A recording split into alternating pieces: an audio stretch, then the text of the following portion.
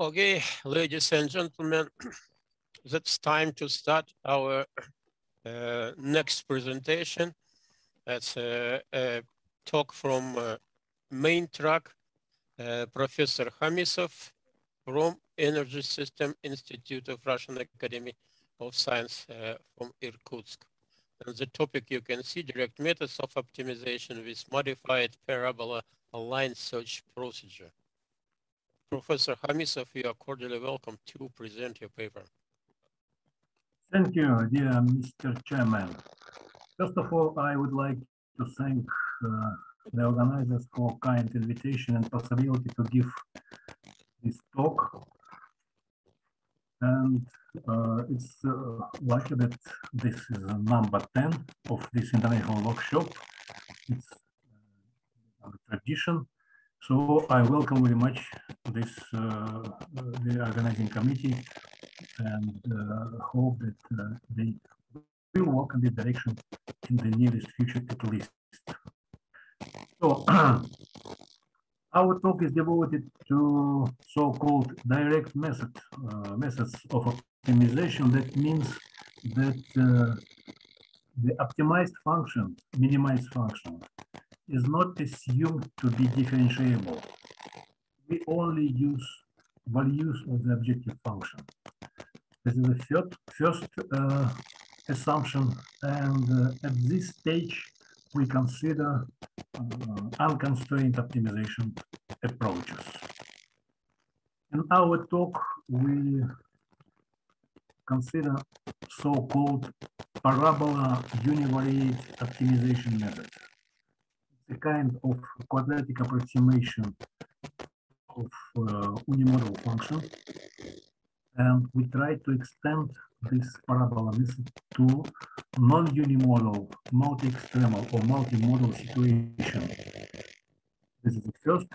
And then we try to apply this parabola method in multivariate uh, within so-called line search procedure. And finally, we present some preliminary results because uh, as far uh, up to this stage, we cannot make, uh, how to say, clear conclusions.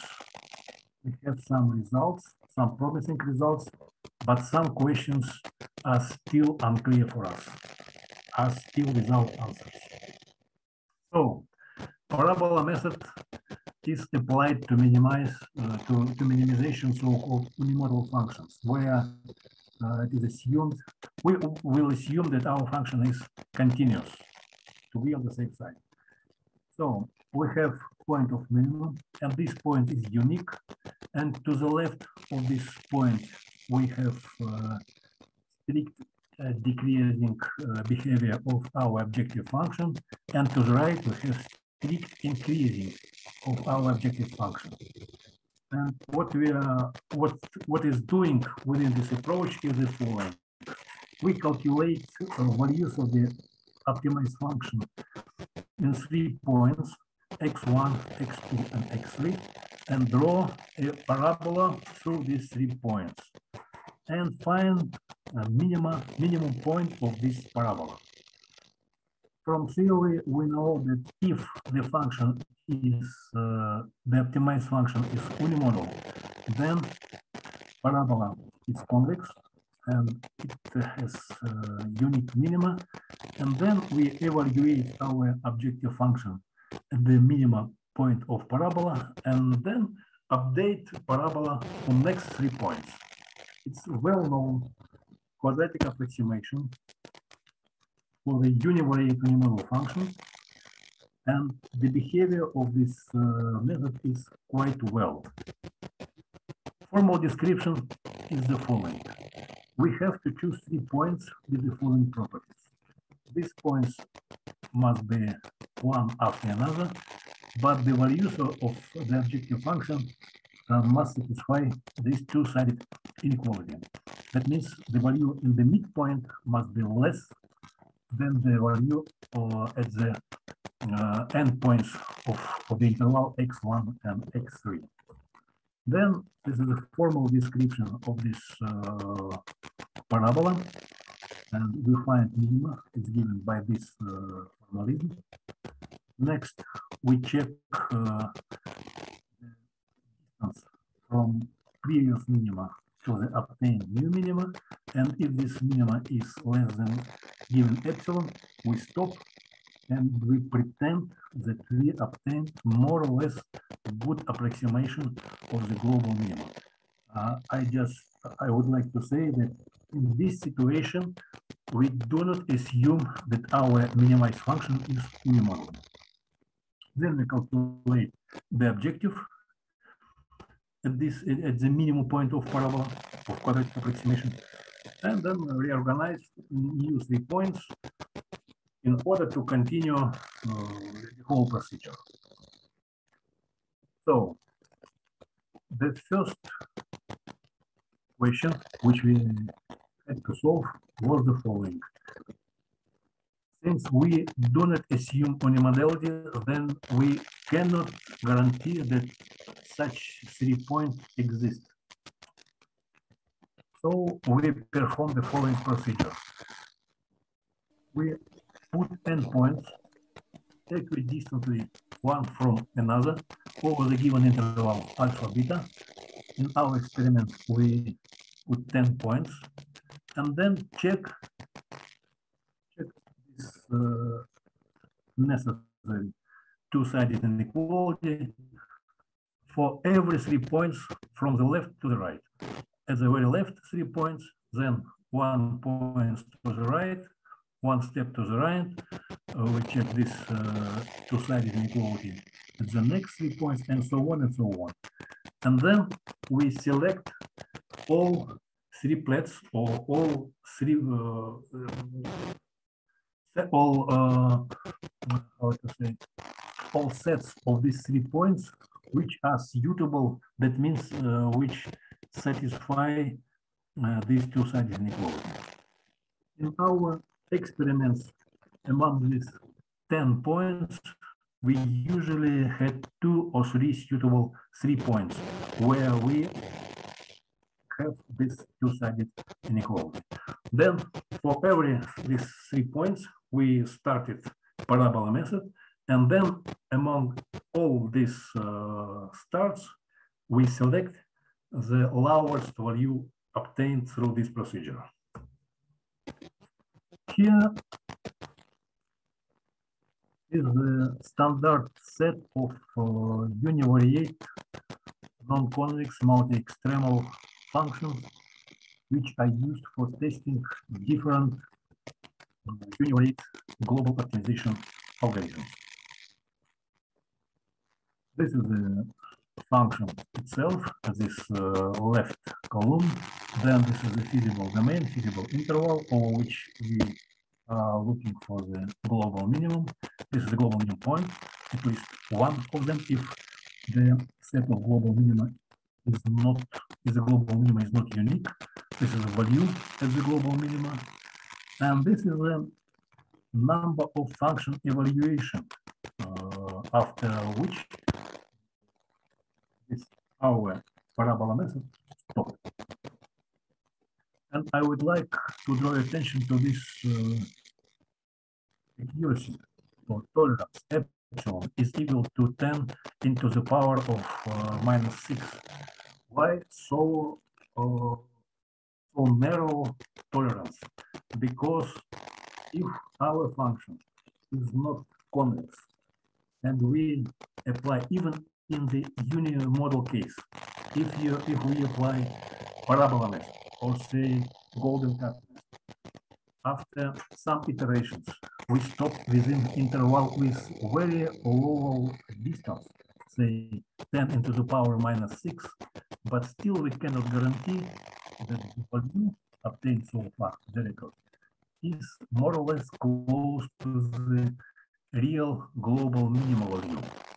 So in order to be more or less on the safe side, we choose such a narrow uh, distance for the final interval, final localizing interval. So the number of evaluations, you can see at least at this, in this case, is quite large. Now, uh, what what is the reason? Uh, what is the, what was the reason for our using method? In this table, we see that the fastest behavior was obtained over this function, over this problem, in this problem. And you can see that in reality, we have convex optimization problem, univariate optimization problem, and after seven evaluation function value, in addition to this uh, 10, in addition to this 10 uh, points which we uh, put in advance or before the starting parabola method. It's quite, uh, quite quick. And for the next function is the hardest one. We have 143 function evaluation. This function minimum is one of the difficult function. We have three global minima here, here, and here. And now I, in brief, uh, try to explain what is going on when we apply parabola we calculate the function value at this uh, 11 points. If you can see, this is a green circle here, this evaluation. Left, uh, leftmost point, then at this point, next point uh, over this and subintervals, then this point, this point, this point, and so on. So uniformly distributed points for interval, and we calculate values of these points. And then we check for which three points we have the desired two-sided inequality. First of all, we have this one, this one, and this one. So parabola will go like something like this And we are quite close to the global minimum over there. And we take this subinterval because for these three points, uh, our two-sided inequality is fulfilled. Then the next subinterval is this one. Again, we have this green point, this green point, and then, then this green point. And for at, at midpoint, the value of function is less than were used in the endpoints of this subinterval, and so on. You can see that uh, at least we have this subinterval, this subinterval, this subinterval, and for each subinterval we start parabola. It is not guaranteed that for every subinterval we find global minimum because even for this subinterval, for this for this subinterval, the function is not minimal it's still multi-extreme. But uh, we do not pretend to find global minima, we only perform some experiments. So, nevertheless, in this case, we found the global minima, and this strategy allows us to determine whether the number of global minima is more than one. So not for sure, but we can check, we can identify non-uniqueness of the global minimum if we are lucky. The next step is, is to apply this uh, modified parabola method. Modified means that we uh, apply this parabola method to the uh, multi-extremal situation within three other optimization methods. The first one is coordinate descent method or coordinate wise minimization. The second Hooke and Jeeves method, and the third one is Rosenbrock method. Within all these methods, we use line search with parabola line search uh, with modified parabola method. Coordinate descent method is well known. We start from some point x0, then we minimize with respect to the first coordinate direction, then the second, and so on, and so on, and so on. And finally, if we are lucky, this is the you can uh, see this is a convex function. We arrive to the minimum At Gibbs method. Uh, we start from some point x0 and uh, perform the first stage.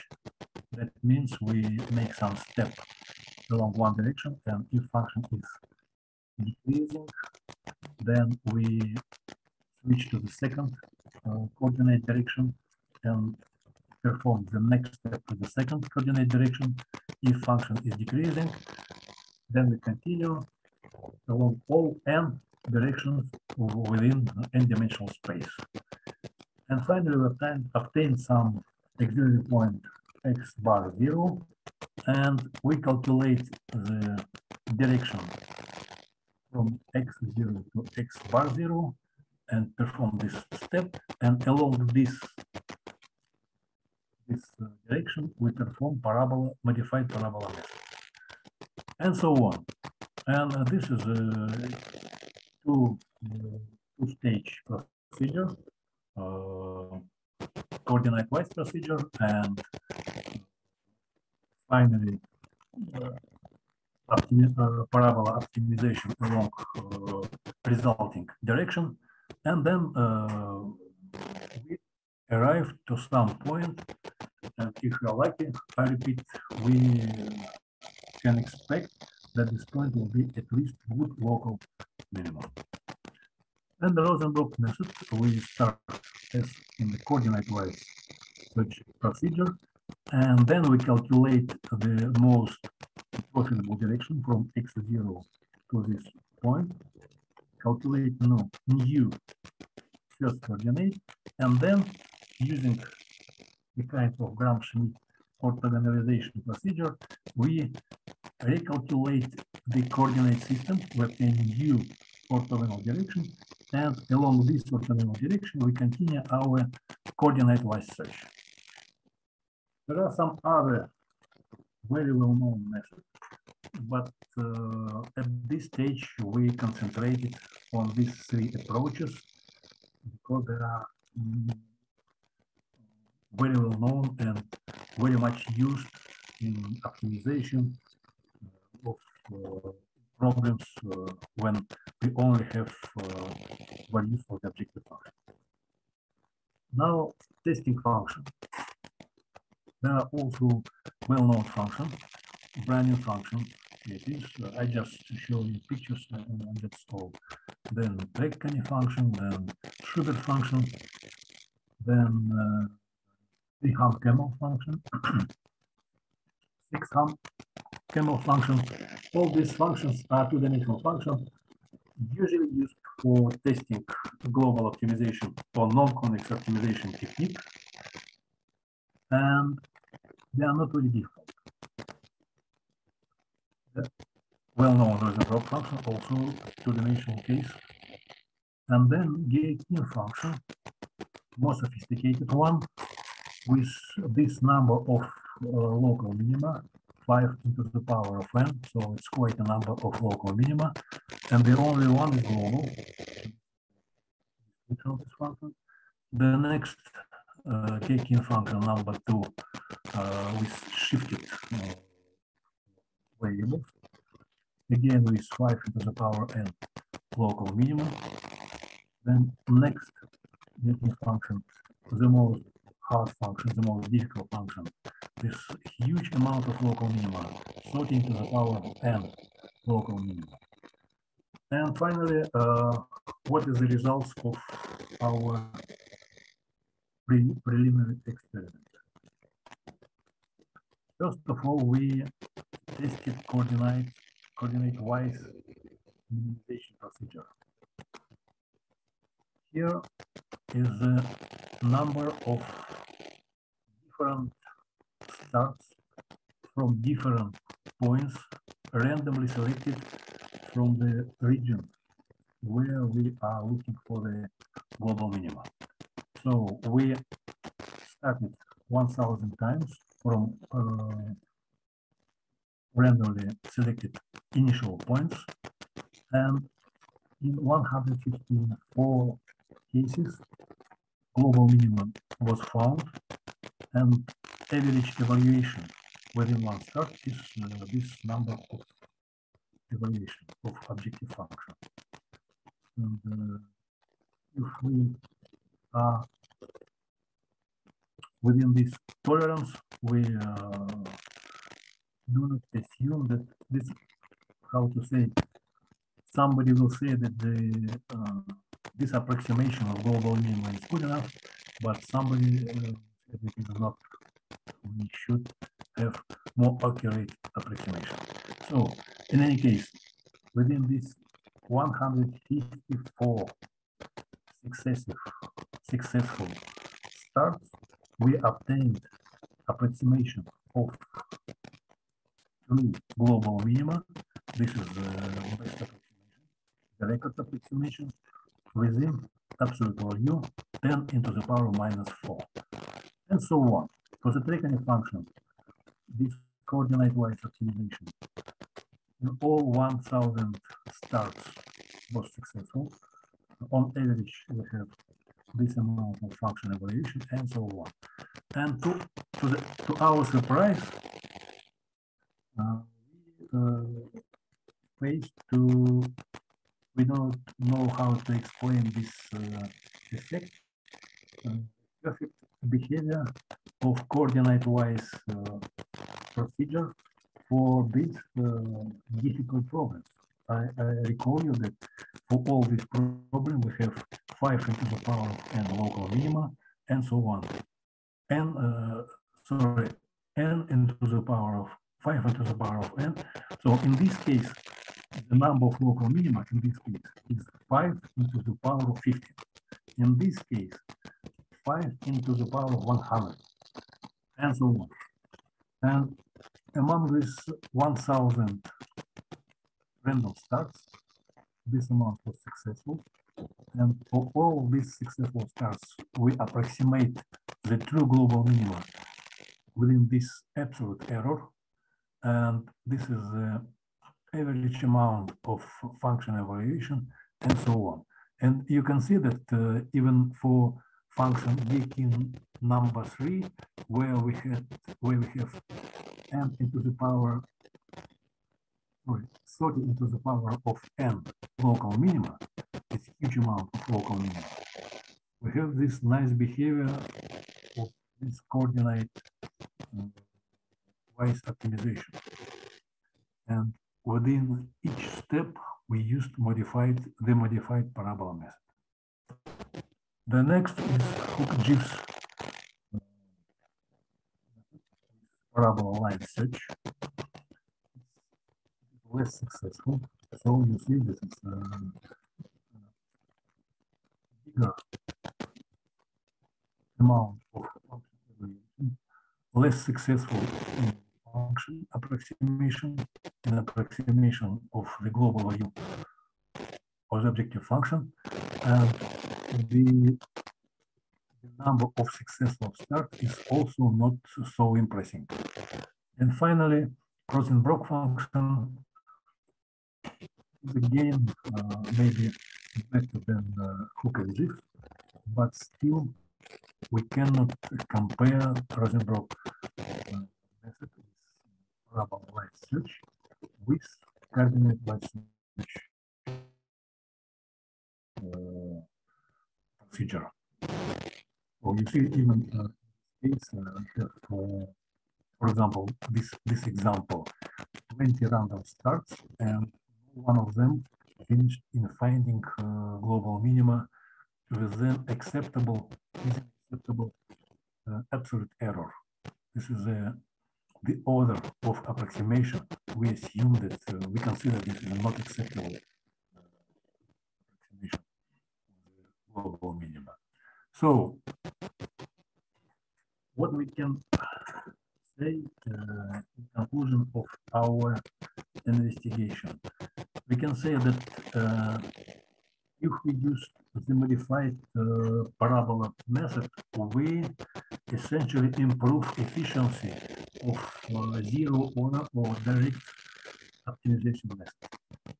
That the amount of calculation of the objective function increase, but we are intended to find the best local solution. And as for the coordinate, the coordinate descent method, in many cases, we found uh, the global one. The time, the computational efforts uh, was not uh, too high. The accuracy or tolerance of the approximation was good enough. And again, I would like to recall that uh, we choose very, very narrow tolerance, 10 into the power of minus 6. Maybe if we perform our experiments within standard uh, uh, demand, say, relative error, not absolute error, but relative error, one person, relative error is no more than one person, then in all our experiments, the number of function evaluation will be essentially less. But uh, we deliberately choose uh, this uh, tolerance in order to see uh, how strict, exact could we uh, solve the problem with our approach. So the recommendation is the following uh, from, from our testing experiments coordinate, coordinate descent method with modified parabola procedure. And then with high probability, we, you, you will find uh, global minimum point. That's all. Thank you for your attention. Please, uh, your questions. I am ready to answer. Thank you very much, Professor Khamisov. Dear colleagues, your questions, may, please. May I, uh, Alexander Gornov? Yeah. My, my question. Yeah, uh, of course. Uh, Oleg Valerich, uh, about parabola methods, about also of parabola methods. Have you a hard link, uh, maybe um, first paper about parabola idea? It's quite a question because uh, the idea of using parabola methods uh, told me Professor Gergel about 20 years ago. Uh, and he himself and some other uh, specialists in global optimization faced with the same effect that in the smooth optimization, when the objective function is differentiated, and the number of local minima is not huge, then without any justification, without any justification, without any proof, parabola method almost in all experiments uh, found global minima. It was just a result from experiments. I cannot say exactly the paper or reference because it was told me by Victor Gergel. And after so many years, in order to accelerate our branch and bound procedures, we tried to use this, uh, I just recollect or remember his, uh, his words and we tried to do experiments to check whether this is true. This is almost true. Uh, thank you. Thank you for your talk. Thank you. Thank you for the question.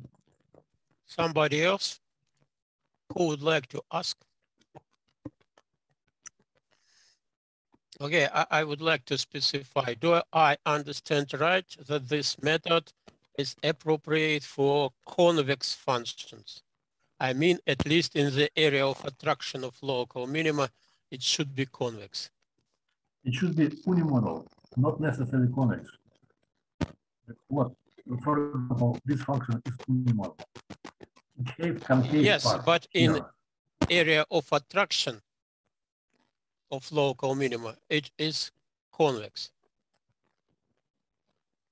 Not, not always. If you take the square root from modulo, like this one. Yes, zero. concave. If it will be concave. Yes, yes, it's not convex. Uh, it's quasi-convex, uh, but not convex. Because unimodal function can behave themselves very nasty, nasty. Yes, of course. And for example, if we have, uh, how to say, a constant set, such a plate as a minima, Then in the Okay, universe, yes, yes, in the universe, or the unimodal means one function uh, value is unique or one point is unique. it's a good question. It's a good question because there are different definitions of unimodal function. The most general one is that we have some plateau, Yeah, flat plateau, horizontal plateau, horizontal interval. And from the left side, from this interval, function uh, decreases, and from the right right hand Yeah. side de- uh, increases. Yeah. Uh, parabola method works for this uh, case also. Mhm, I just uh, uh, give here give here some standard description. But in Okay. general, unimodal function must can have a flat uh, set of values. Okay, there are many points, but it doesn't matter which one we Yeah, get yeah. because yeah. function value is the same. Of course, okay. Exactly, Thank you very much. Uh, any questions, please? Okay, there are no questions. Thank you Uh, very much, excuse me, I have a question. Ah, I just okay. spent some time for connection. Uh, you have compared some methods for local search. For example, Hooke-Jeeves, coordinate descent. Uh, these methods uh, all have some parameters. That means that you can uh, search for some local area. You can find such parameters that you can find global optima in one step, or you can search for very long time. So the question is uh, how you have uh, select the set of parameters for these methods. No, uh, honestly speaking, randomly, just uh, looking, uh, just take, if uh, say for Hooke and uh, the first stage was to check step forward, step back, and we took the step equal to one. And this, if the step was unsuccessful, it was divided by one half, and so on. It does not mean that it is randomly, let me say voluntarily. Voluntarily, yes, because I mean randomly that we uh, do Occasionally. not put here occasionally. We do not put here any theory. Just take one f equal to one, and, and that's all. Maybe if we take some uh, another value of the step, the result will be different. Okay, I see. Thank It's you. open question. It's open question. Professor Sopov, no question at all? Okay, thank you very much. Oleg, Thank you. who would Thank like you, to Evgeny. ask question? Okay, nobody. I come back to my speech. Thank you very much, Professor Khamisov, for your interesting presentation. And let me say expansion of our mind here. You know, we are completely in stochastic and for us uh, is very interesting to learn uh, anything about uh, regular uh, algorithm, not stochastic. Thank you very much.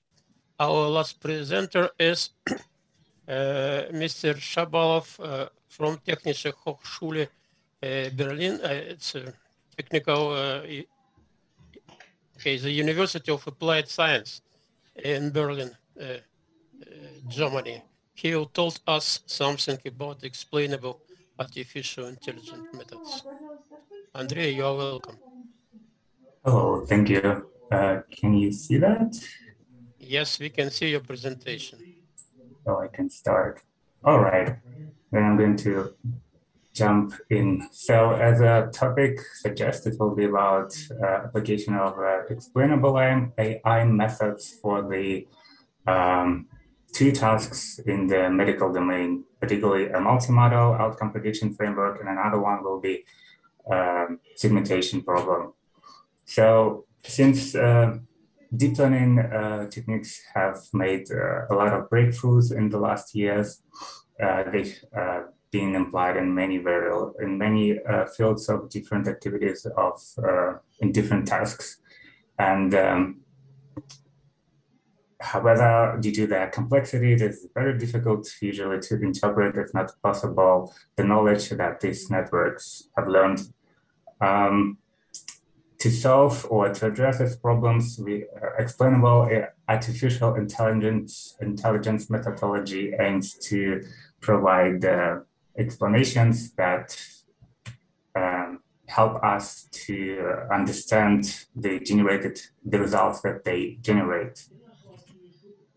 Um, so explainable AI embraces many facets such as uh, verification of the system, improvement of the system, learning from the system, system, and very important compliance to the legislation. legislation. In the medical domain, it's very crucial that uh, when uh, deep learning or machine learning model is being deployed, who takes the responsibility for the decision it, made, it makes, as well as uh, the uh, patient's data is usually um, hidden and there are a lot of uh, these uh, legislation uh, problems which arise when one tries to uh, embed a model in the medical domain, in the medical system. So to help to uh, validate such models, um, the research was based to evaluate uh, re two real models, uh, acute ischemic uh, stroke outcome predictions and arterial brain vessel segmentation. For this, um, uh, several uh, methods, uh, state-of-the-art methods such as gradient, CAM, CAM, CAM-based and propagation-based explainable, explainable AI methods were applied. These methods can be characterized by uh, scope, methodology, methodology, and usage. Um, so the in scope, they can be local or global explanations. In our case, we're interested in local explanations per patient level, since uh, we want to know if uh, the decision the network makes for a particular patient is uh, uh is exactly in those places in the data where it should take.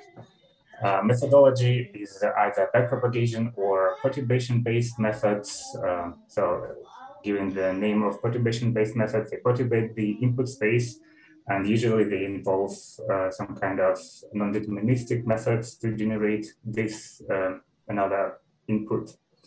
And that leads to uh, unstable uh, unstable predictions and therefore unstable, uh, not unstable predictions, unstable uh, activation maps based on which we make the decisions. Therefore, um, all the methods which were used in the research are gradient based, uh, propagation based, and CAM based, and they were based. Uh, they were selected uh, based on the criteria for computational efficiency, method stability, and uh, availability of uh, corresponding frameworks and their implementations, as well as uh, difficult, difficultness and time constraints for the self-implementations for of various uh, XAI methods.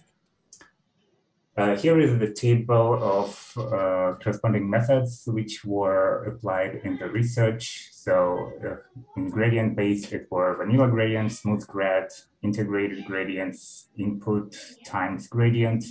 In GradCam, it's just two methods, GradCam and GradCam++. And uh, propagation-based methods included uh, deep Taylor decomposition and layer layer-wise relevance propagation. Um, here are corresponding formulas, how these methods are calculated. So for gradients, the attribution scores are calculated by taking an absolute value of the partial derivative of the target predicted output. Um, input times gradient calculates the attribution values by computing the element uh, by multiplication element-wise of input features with the locally evaluated partial derivative. Uh, smooth grad smooth grad replaces the input by taking n random samples in the neighborhood of x And uh, integrated gradients computes in, uh, the scores by element-wise multiplication of input features with respect, uh, yeah, with respect to the uh, partial derivative, average partial derivative, interpolating between a baseline input image X and the final X. Um, in GradCams, so GradCam produces uh, coarse localization attribution maps highlighting significant features in the input image and um, supposed to account for more special details. Uh, GradCam++ is a modification of corresponding GradCamp, uh, which is supposed to improve the efficiency of the first algorithm. And uh, with uh, any of the algorithm guided guided back propagation can be added, which modifies the gradient calculations of ReLU functions in the backward pass by discarding the negative values. Here is uh, a scheme how the propagation-based methods are calculated so after the calculating the output of the network, the relevant scores are then back propagated to uh, compute a heat map on the input phase, uh, input space. Uh, so in the back propagation uh, based methods, there are two methods which were uh, used: uh, deep Taylor decomposition and um, layer-wise relevance propagation. The formula, here is a generic formula how these uh, relevance scores are calculated, and they have uh, many variations based on the alpha parameters, epsilon, and uh, the rho function, the way the the formula for calculating, or the way the weights are being calculated in the backward pass. So uh, the first uh, model was uh, used for calculating the outcome prediction of uh, acute ischemic uh, stroke, uh, so good or bad, based on the dichotomized modif modified Rankin score. it consisted of 3D DWI brain scans and 3D FLAIR brain scans with uh, clinical data, which uh, conclude, uh, included seven input features, five categorical and two continuous. Um, the this model consisted of uh, three submodels, each of different uh, input modality, DWI and uh, FLAIR imaging and the tabular data the uh, 3D imaging streams, uh, these submodels, uh, they were processed by a group of 3D convolutional neural networks. Each of the CNNs consisted of five convolutional blocks, followed by global average pooling operator. The clinical data, or the clinical framework for this data uh, was modeled using a multi-layer perceptron with uh, three hidden layers before the concatenation uh, of three uh, submodels. And then uh, this, the results of the outputs of each model were concatenated and fed into two fully hidden, uh, fully connected layers followed by the output layer of each uh, submodel to calculate the uh, outcome for the stroke prediction. And uh, so here's just an example of the imaging modality um, architecture of the CNN. For the arterial uh, brain vessel segmentation, three data sets were used. It's uh, 7UP PEGASUS and 1K data set. Here we had 3D uh, MRI brain scans, and the output was a binary 3D segmentation mask of the vessels. Uh, the model itself was uh, called BraveNet and uh, was based on UNet uh, neural network with the extended context, context information and deep supervision. In order to evaluate the uh, uh, X, XAI methods, explainable uh, AI methods, several edge cases were extracted, such as high confidence plus correct prediction, high confidence plus incorrect prediction, or and uh, low confidence again uh, correct and incorrect predictions. And for uh, second data set, we had high performance and low performance uh, and different data sets, a mixture of that, of either of those.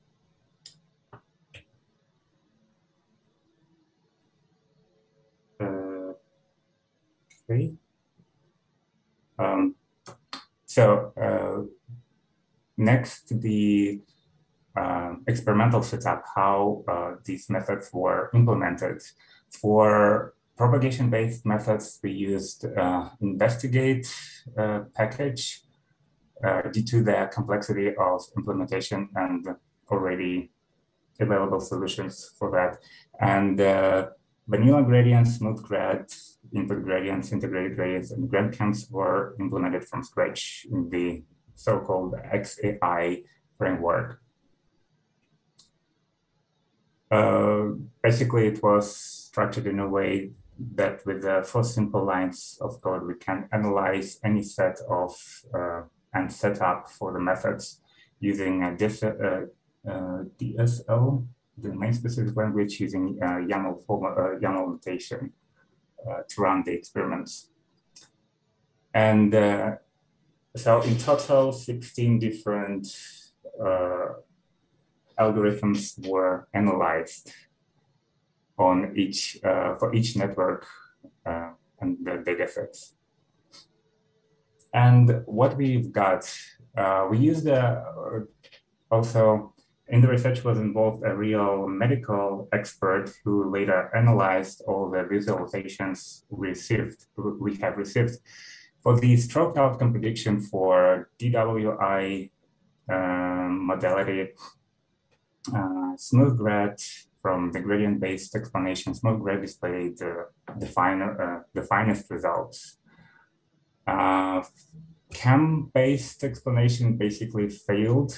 CAM, GradCam++ failed entirely, and GradCam doesn't didn't provide any useful information to conclude what kind of information it used to generate its predictions. Um, the propagation-based explanation showed uh, better results and such methods as deep Taylor decomposition, LRP, alpha, beta, and LRP epsilon showed the, the best visualization for this modality, imaging modality.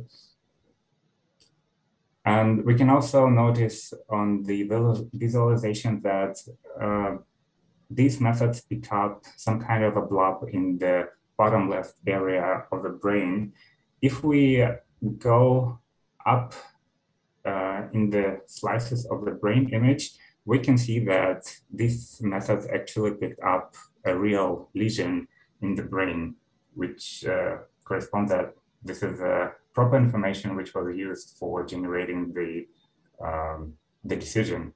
However, on a different slice, the uh, red rectangle represents an artifact which is inherent um, for any DWI imaging uh, framework. It's just uh, there anytime you uh, do the scans. And it seems all, all the methods were picking up this artifact. So this kind of information can also serve that the learned models are not correct or may not be correct and have to be revised. For the uh, FLAIR imaging modality, for the same tasks, uh, task, um, none of the methods uh, catch any relevant information in the input image. For the vessel segmentation, the second problem, um, the gradient-based explanation also didn't give anything uh, useful. Um, CAM-based explanation generated very strange results and as uh, medical experts said we've created art, so maybe we should sell it. Um, best uh, results were generated by propagation-based explanations, and among them it was, again, uh, the best one was uh, LRP epsilon rule, which picked up the vessel and uh, avoided any uh, background noise around the, uh, yeah, the, the vessels. Coming to the summary, um, best of the methods tend to be propagation-based methods. However, they require um, they require uh, the tuning of the corresponding parameters and can be difficult in application by non-experts. Uh, so it really requires the knowledge of the uh, the framework and the theory behind the methods in order to apply them properly. So to conclude, our methods were used on uh, post hoc model agnostic local propagation based uh, the class uh, propagation based class of the XAI methods in the uh, in terms of uh, convolutional neural networks in this uh, group of machine learning models. Um, so the gradient-based methods are applied effortlessly. However, they require or they may lack explanation stability or incur high computational cost. Propagation methods provide better explanation stability and cheaper uh, resource, uh, but require careful adaptation to the network of interest. And uh, one of the main um, uh, outcome or impact, at least a year ago, uh, to our best knowledge, that was the first time an actual domain expert a medical expert has analyzed such a varied set of the state-of-the-art deep learning explanations for two real-world medical scenarios. And um, explainable AI paradigm is useful, uh, can be useful for domain specific experts uh, who can analyze the visualizations and conclude if the model is correct and can be deemed as trustworthy in order to be uh, employed in the real medical setting. Thank you very much. Okay, thank you very much for your presentation, dear colleagues. Please, any question?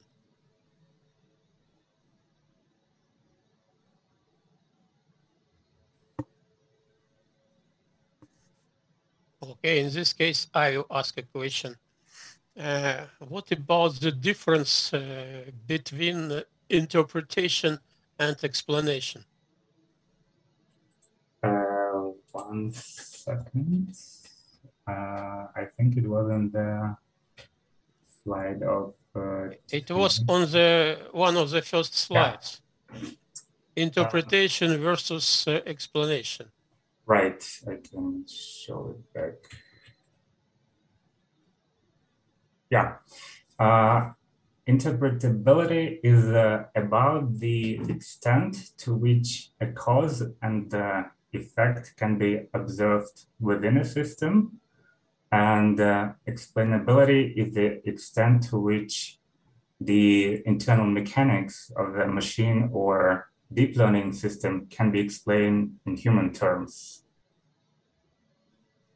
Yeah, but in this case, it means that explainability belongs to humans, not to machine learning system. Yes.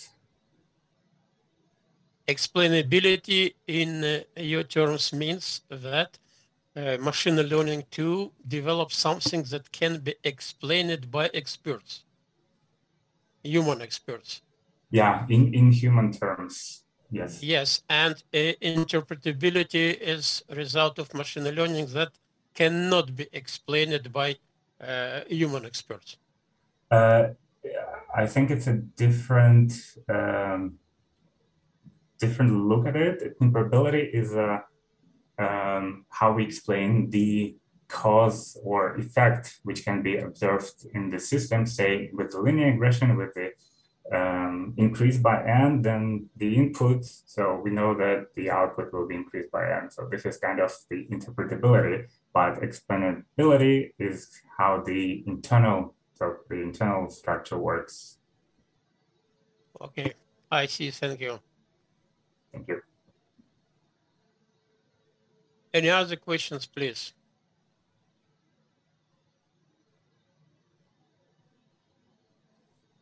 Okay, there are no questions. Thank you very much, Andrei, for your presentation.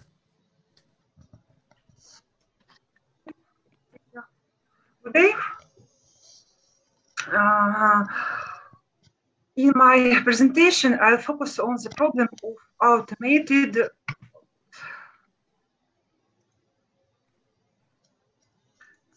Okay, identification.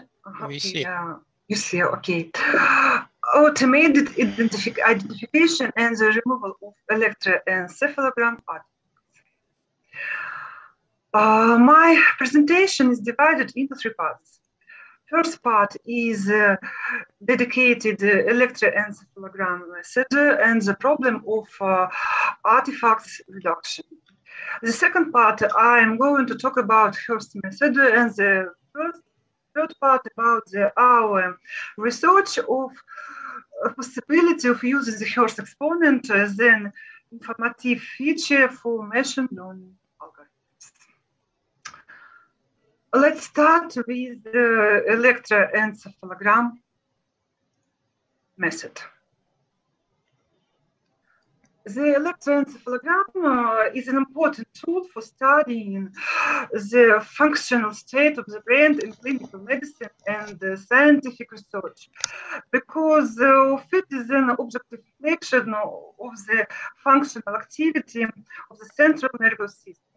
Electroencephalogram is a, non-invasive, highly informative and inexpensive method. The processing of um, uh, biomedical signals, which includes uh, the electroencephalogram recordings, is carried out uh, in order to isolate informative signs in them or to determine diagnostic indicator. Unfortunately, recording uh, of an encephalogram is always accompanied by artifacts. Artifacts can be result of any strenuous processes that are not uh, a direct uh, expression of the brain electro electrical activity. And uh, in essence, artifacts are recording defects. Bioelectric potentials recorded by modern equipment are extremely small. The difference in electrical potentials on the surface of the head uh, during an electroencephalogram recording does not uh, normally exceed the 100, 150 dimensions can be significantly higher than the amplitude of the desired signal. For example, the amplitude of uh, motion artifacts uh, arisen from the displacement of the electrodes is uh, usually up to 10 times higher than the amplitude of the uh, signal. And artifacts can be mistaken by an expert for brain activity when recorded an electroencephalogram manually. And they often lead to an increase in the number of false positives of machine learning algorithms with is a serious problem. Uh, defect neurologists uh, still rely on manual review of data and clinical applications. But manual cleaning of the data of time consuming and impossible without the involvement of a quali- qualified uh, uh, neurologist and active research in such a modern field of um, new physiology is the development of the brain-computer interface, portable and wearable devices, requires the development of new high-speed uh,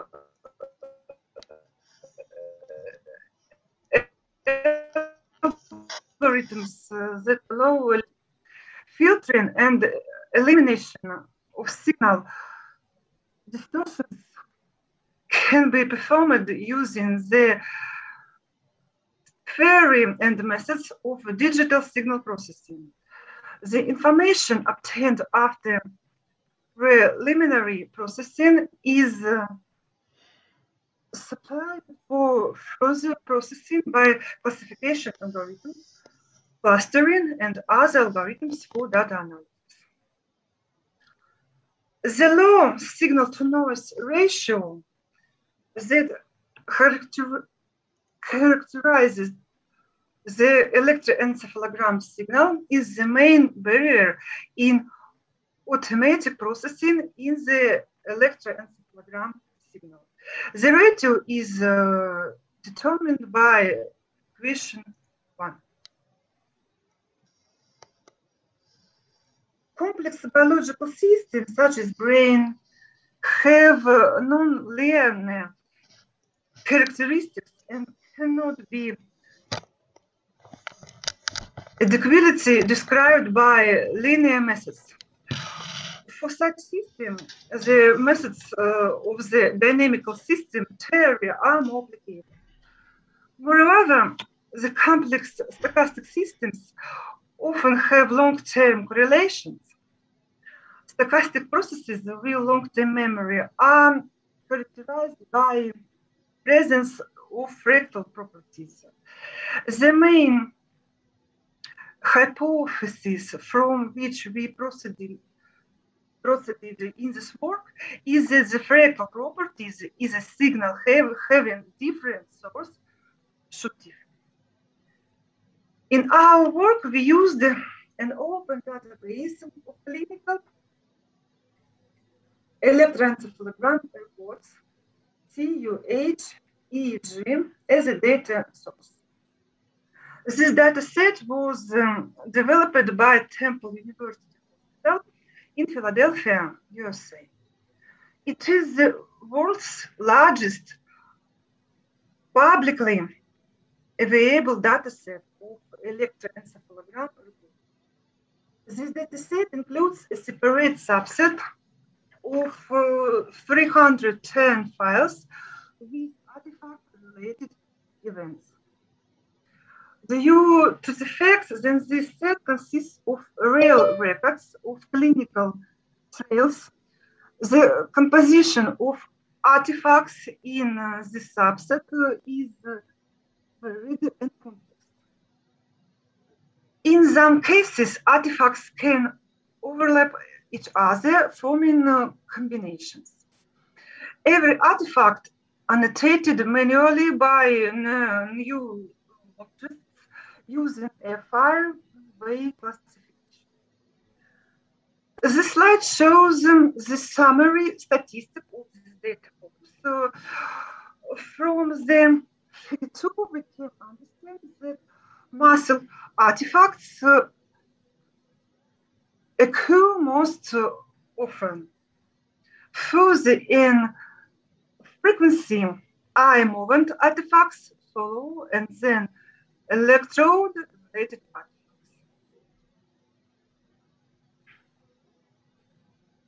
I'd like to illustrate this point to show uh, you some example, examples of electroencephalogram artifact that we studied in our work.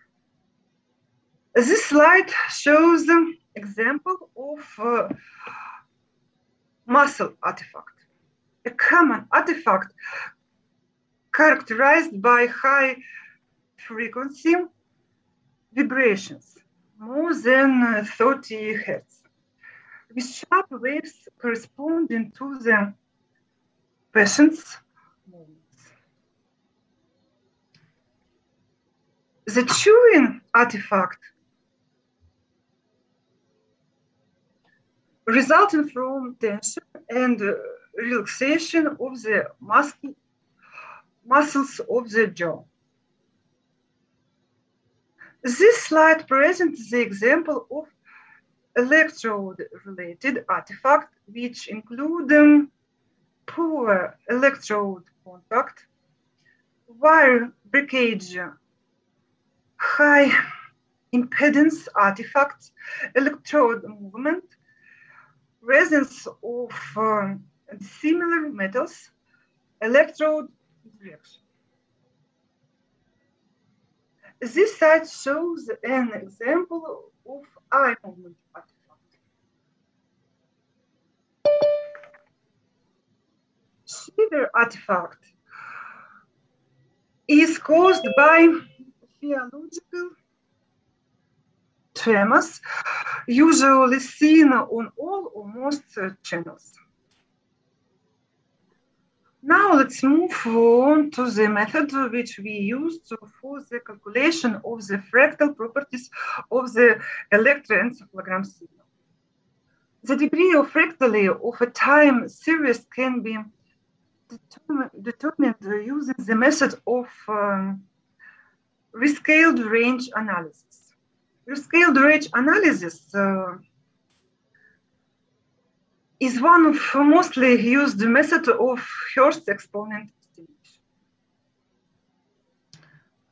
This method consists in finding the dimensionless ratio obtained by dividing the range by the standard, standard um, deviation of the observations. In this uh, ratio, H H exponent is a Hurst exponent, uh, which uh, characterizes uh, the degree of fractally of the times. It is estimated using the following equation.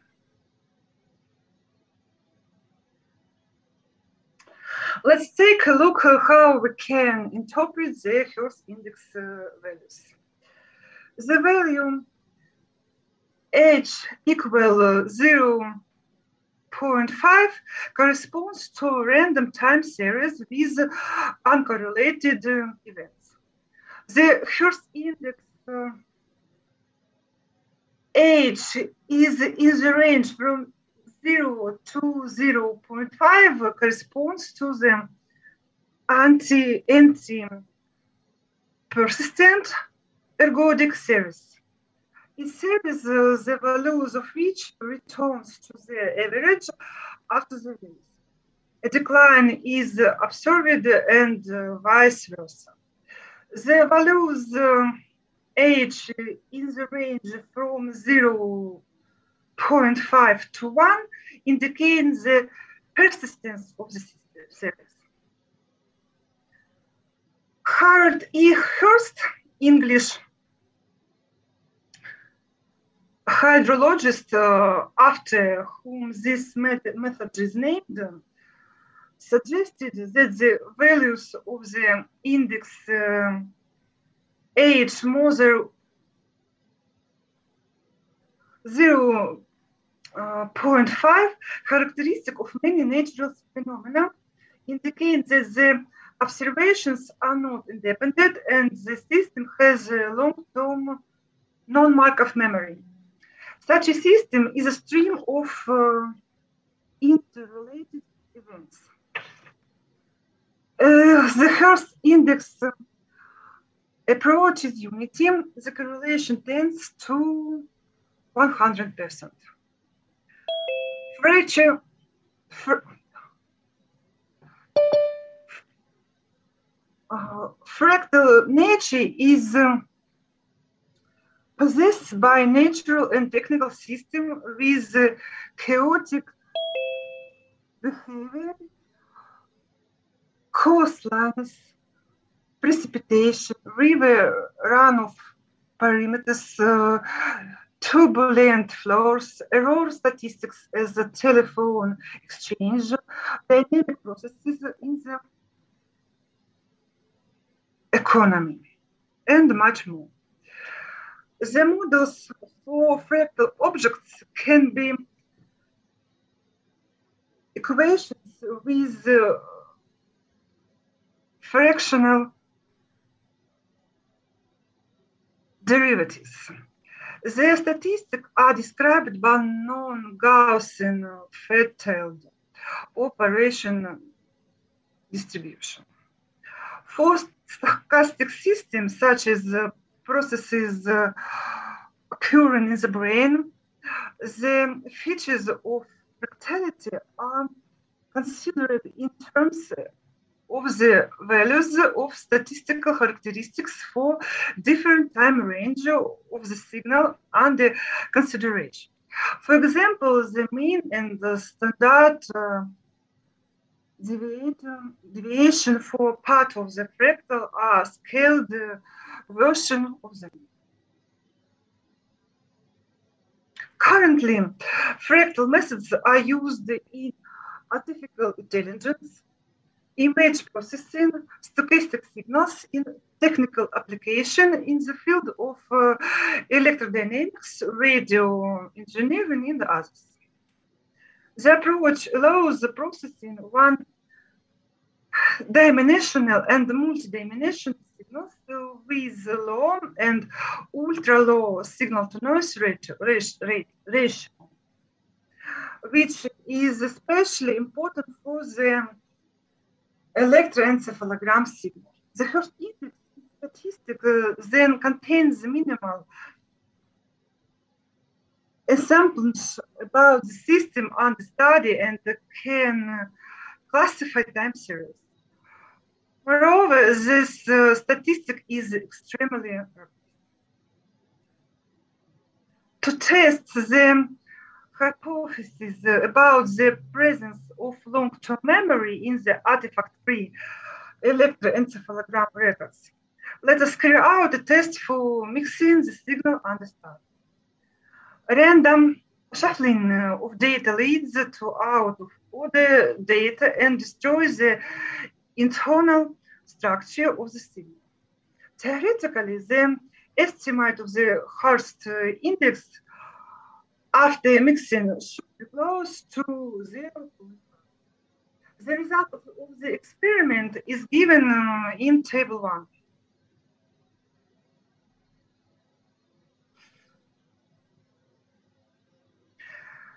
As expected, then uh, when the signal was mixed, the average value of Hurst index for five tests become close to 0.5, which confirms the presence of fractal properties in the study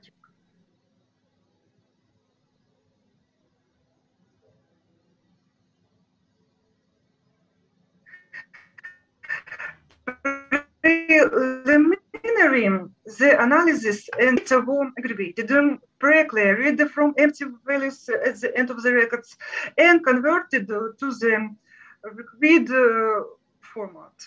Then the Hurst um, index was calculated for the main and uh, combined artifacts. For this uh, purpose, each electroencephalogram record was divided into a sequence of uh, non-overlapping fixed size windows, for each window the number of samples was counted for each of the events. And the event with the maximum number of samples was taken as a label for the entire window. For each window, the Hurst uh, index uh, was calculated for all events by the rescaled range analysis method uh, using the nolds module of the Python language. The average value of the Hurst index was calculated for all files for each event. The procedure was repeated for different window widths, starting from 512 observations about two seconds and uh, further in power from 2 to 2048 observations, so about uh, eight seconds. The results of calculation for the different windows lengths uh, are shown uh, on the figures uh, 8 and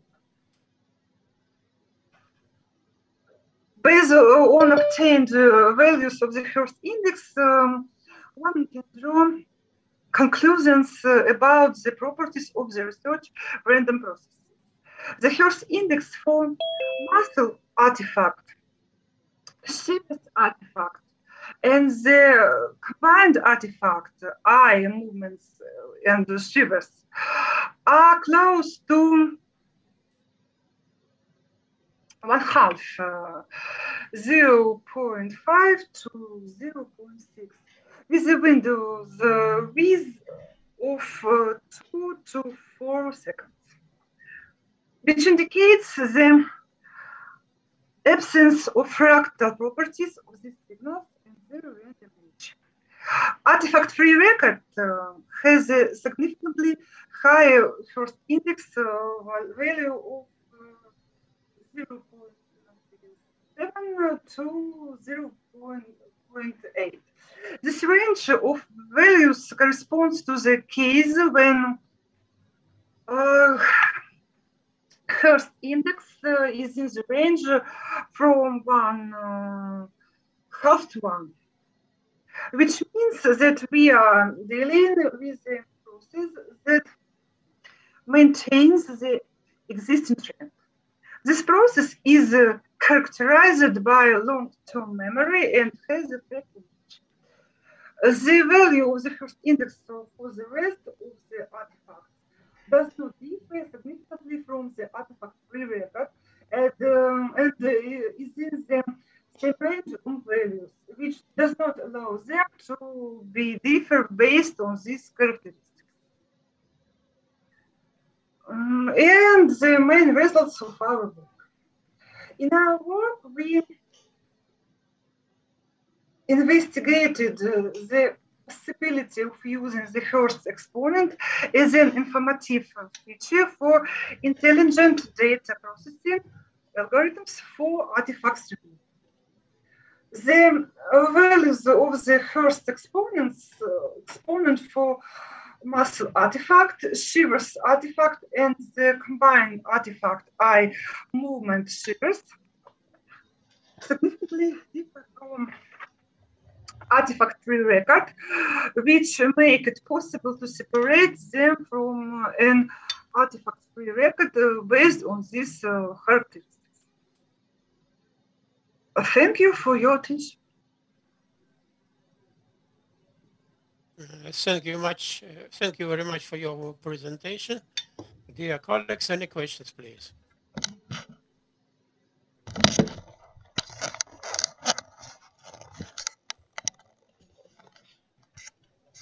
Okay, let me start with question. Please show the slide number 14.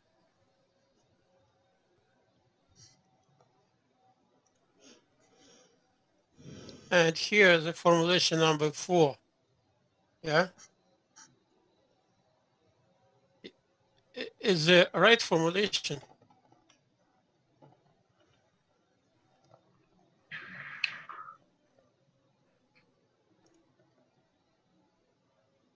Accumulated deviation of the values from its average. Okay, usually we have here either the squared difference or at least absolute difference, but here it's not so.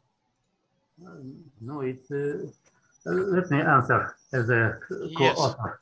Uh, This is a cumulative series. Mm, There must be no square. It uh, seems like it's correct.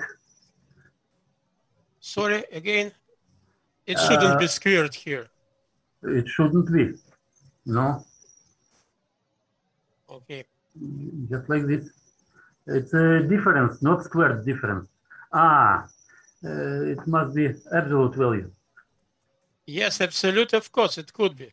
Yeah, because it's accumulated deviation. But if they will have different signs, plus minus, it will be kill each other.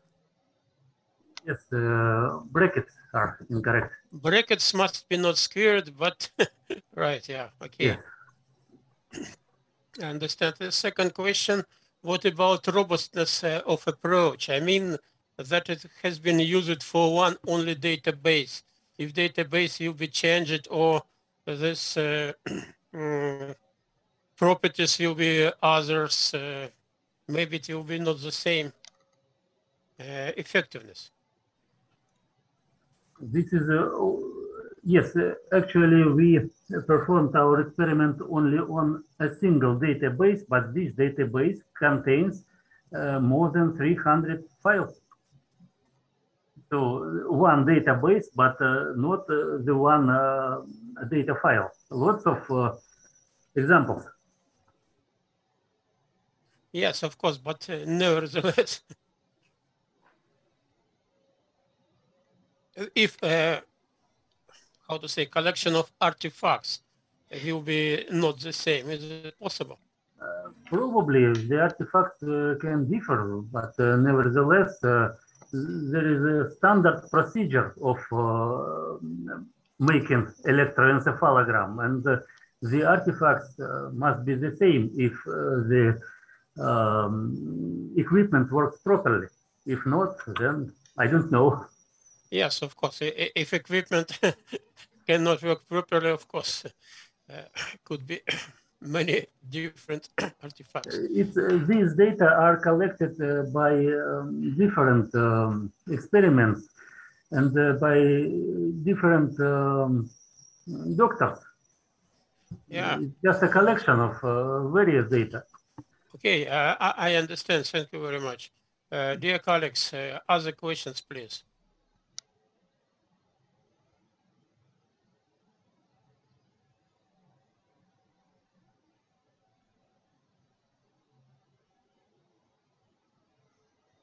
Okay. Again, I'm only who did not understand something. Yeah. Uh, all others were able to understand uh, everything. Well, thank you very much for presentation. Thank you very much for discussion. And now we are waiting uh, four minutes for our uh, next. okay, ladies and gentlemen, it's a time to start. Our Bulgarian colleagues uh, told us uh, that they have changed presenter presenter will be Alexander Rusev. Uh, Recording uh, in progress. You are welcome. We are glad to listen to each one of you and all together as well. Please. Uh, hello. Uh, only one second to share the screen.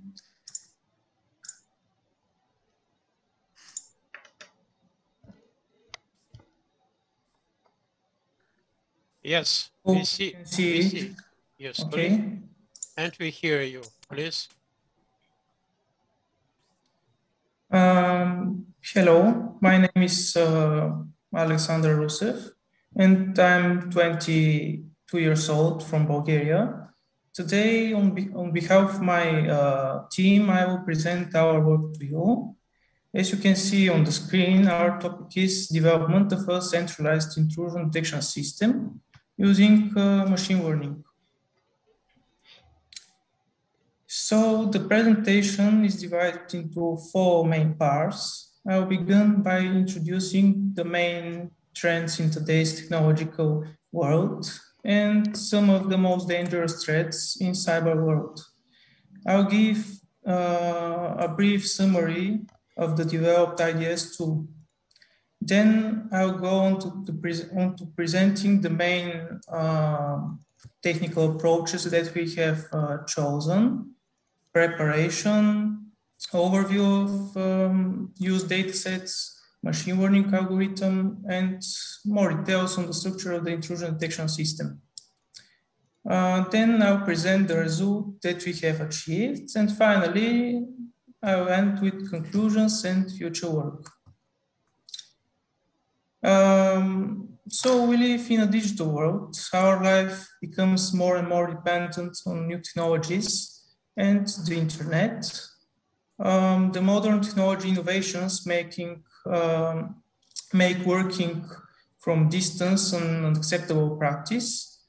Uh, the rapid global spread of COVID-19 makes people prefer remote work, online learning, and online communications.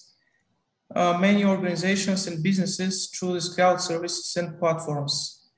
As you can see in the figure, in figure one, um, statistics uh, show that the number of devices connected to the internet is changing almost exponentially. By 2025, the number of devices in the internet is expected to grow over 75 billion. So the growth of online users and services bring both advantages and disadvantages. Uh, as we transition to online classes and remote working, we became we become more prone to cyber attacks. According to the to the AV Test Institute, the number of newly registered malwares from 2012 to 2021 uh, increases every year.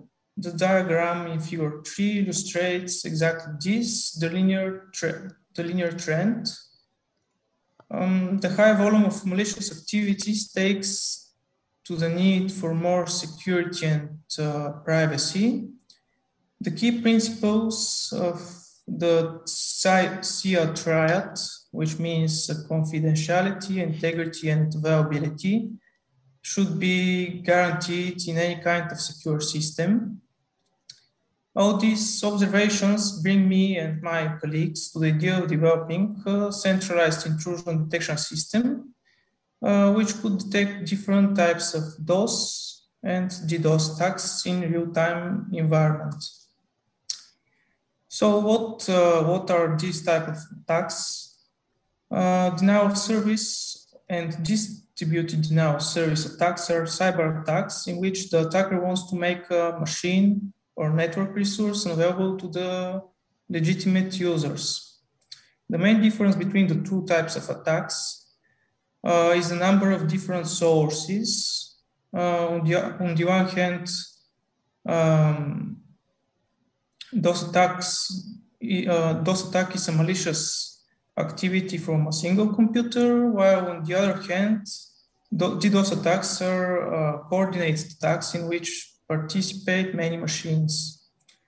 Figure four um, illustrates the principal schematic of a DDoS attack. As we see, the target server, uh, which is on the right uh, side, um, the target server is uh, used by legitimate users and uh, attackers simultaneously the network traffic from the attacker machines is so high that it is almost impossible um, to be processed by the servers. So the target server usually can process all requests from the malicious machine and goes out of order. Uh, our work on developing IDS uh, is using three different uh, machine models, which are trained to classify three different types of DOS and DDoS attacks. Uh, this type of, uh, these types of attacks are SYNFUT, UDP-flood, and ICMP-flood. So let me first give you a brief overview of the intrusion detection system. Um, it is centralized IDS which means that there is a central device which communicates with the remaining devices in the system. Um, our intrusion detection system is agent-based and block-based. Uh, two, the system consists of agent programs, which are installed on endpoint devices and communicate with the central device in the system. Moreover, endpoint data and collected network data uh, stored in a centralized database. Um, the system can analyze, detect, visualize network traffic and, and threats in, uh, in real time. In addition to this, I'd like to say that IDS could use more than one machine learning models at the same time. Uh, in our particular case, three different uh, uh, machine learning models are integrated, each trained in detecting a different type of DDoS attack. Now let's talk about the technical detail, details of this work. Firstly, we'll focus on the preparation phase, which consists of four main stages. Generating uh, malicious and normal traffic. Next is the data collection. After that, the data preparation. And the final stage is the training of the machine learning models.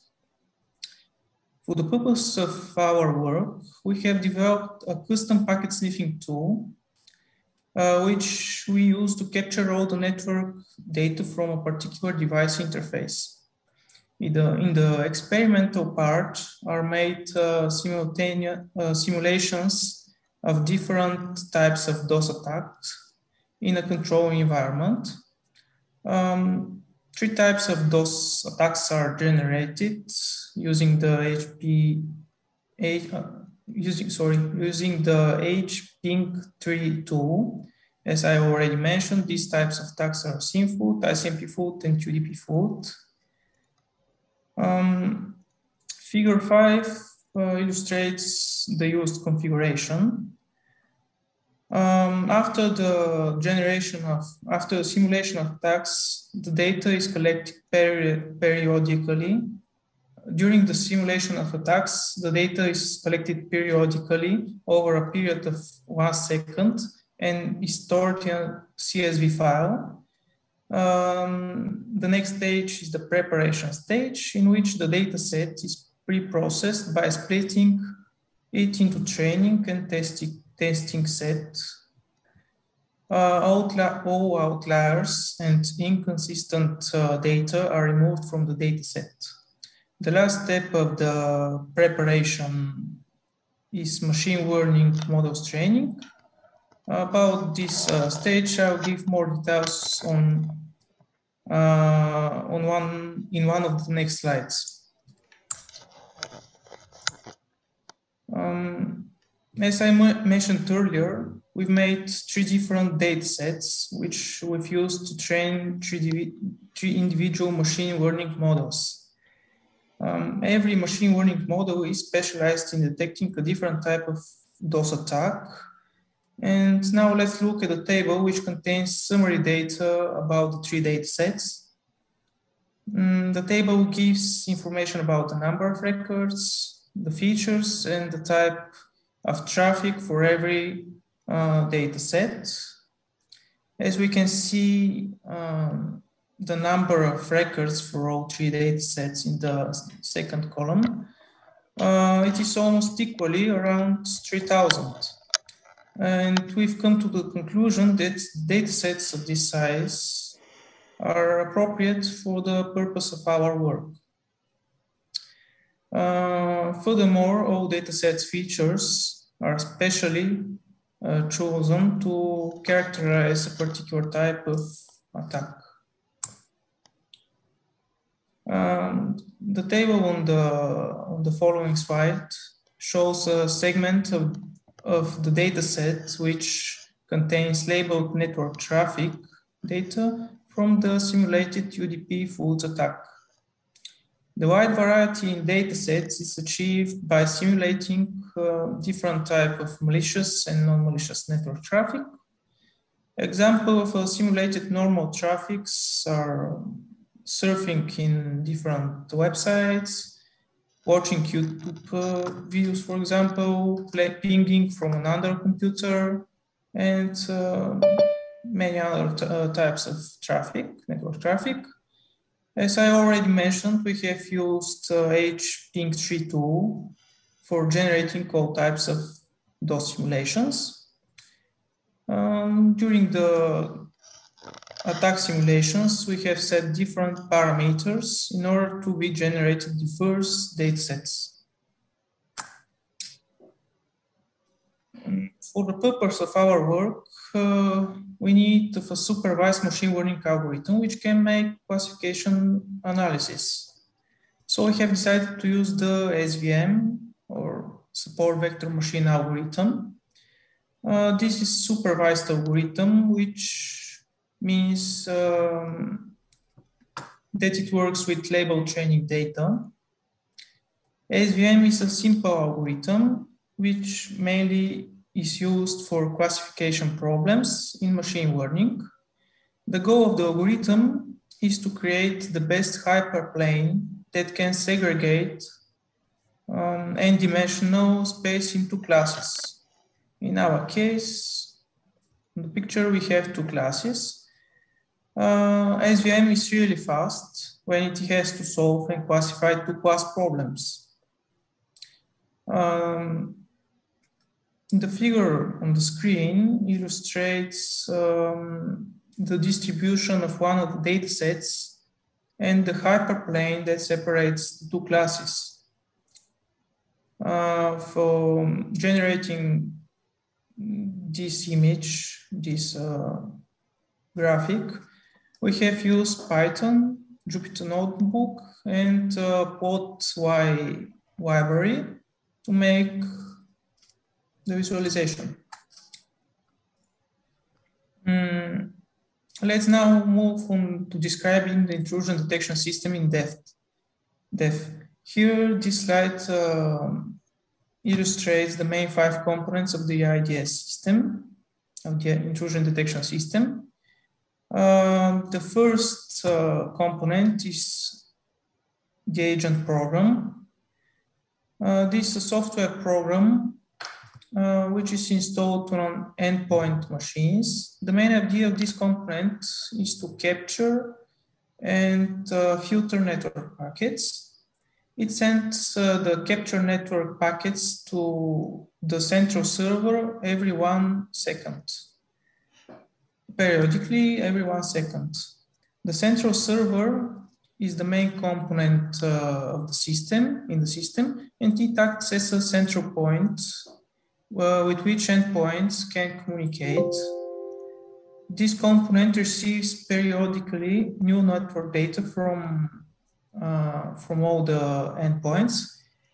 Um, the main goal of uh, this component is to process received data, analyze it, and classify it as malicious or normal network traffic.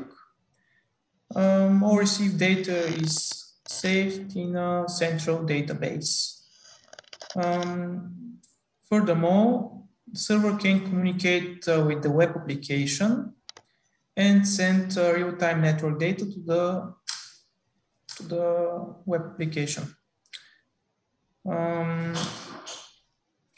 the main idea of uh, the web app is to deliver uh, to users responsive and easy to use web panel from which, um, from which can be monitored the whole system. And now a few words about the database. Uh, we have chosen to use MongoDB uh, database, which is a no, no SQL database. The main reason behind, behind our uh, decision is the need for fast save of large number of records for short period of time. Finally, as I already mentioned, we, we've trained three different uh, machine learning models, which are integrated in the central server. And now on this slide uh, is illustrated the IDS architecture model. On the right, uh, one second only, on the right uh, down corner of the screen, we can see a cluster of registered uh, endpoint machines. They communicate, communicate with the central, central server. Um, on the left side of the image, we can, we can see the web app, which is divided into two parts, front end and back end part. And on the top uh, corner of the screen is the database, which can be accessed only from the central server and the web application. Um, so we have received the following results from analyzing the, the machine learning models and the IDS based on some factors and limitations. Mm, first of all, the data is uh, data in the three data sets is collected from a small local area network, which can lead to not so various data sets. Moreover, the system is developed within some limitations uh, as small, compu uh, small computing power, fused equipment, and limited capabilities of, of some of the used tools and uh, libraries. Um, the data sets are split into training and testing sets in ratio 80 to 20%. Um, so table, table three illustrates uh, mach, uh, machine learning models classification reports. Uh, the prediction, the prediction accuracy results for all three models are uh, 100, 100%, uh, which is impossible result in real working environment. But um, this accuracy may vary depending on the type of model training data and the type of traffic on the network in which the system is uh, integrated. So let me summarize. In this work, we have developed a centralized anomaly-based intrusion detection system, which can detect uh, malicious activities in real time. Um, the results show us high accuracy rate of classifying different network traffic as malicious or non-malicious uh, in the working and testing environment. The system has got uh, intuitive user interface which can be used by users for activity monitoring. The developed IDS um, intrusion detection system is specialized in detecting three different types of DOS and DDoS attacks. Uh, as a future work, we plan to enhance uh, the intrusion detective system in several directions. Firstly, we want to improve the existing um, the existing data sets as we add more data to them and moreover to train new uh, machine learning models. We would like to upgrade the system in order to be able to detect um, more types of attacks.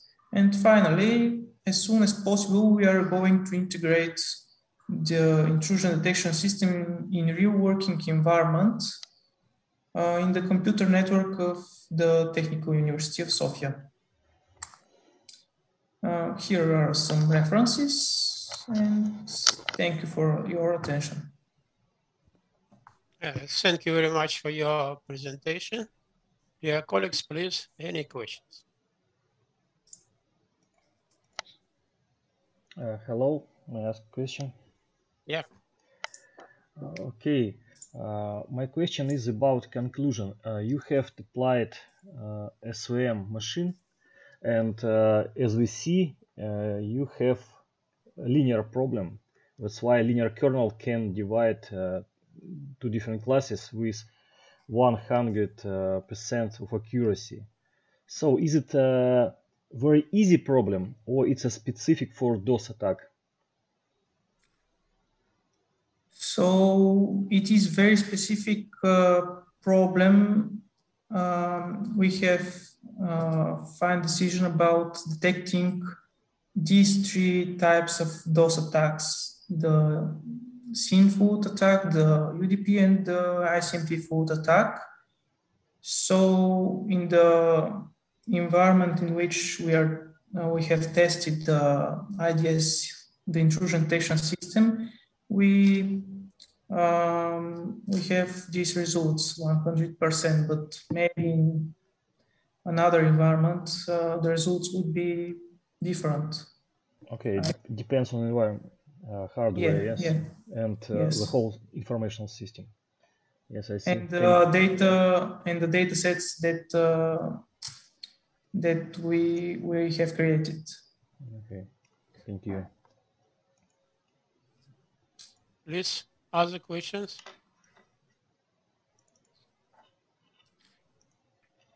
I have a question, if I may. Yes, of course. Okay. Thank you for your presentation, first of all. So my question is actually related to the one that was pronounced just right now. Um, well, I wonder if these models give such a very nice accuracy. Why do we actually need three of them?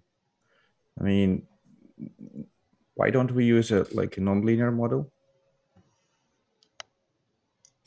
Uh, sorry, could you repeat the question because uh, I couldn't hear? Yeah.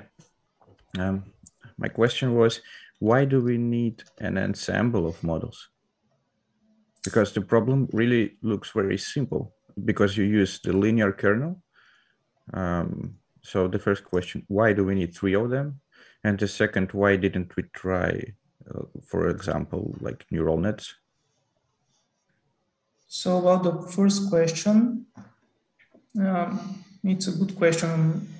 Um, if we know what type of DOS attack uh, happens, we uh, we would um,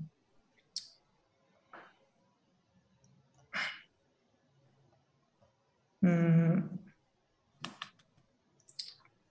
sorry. Um,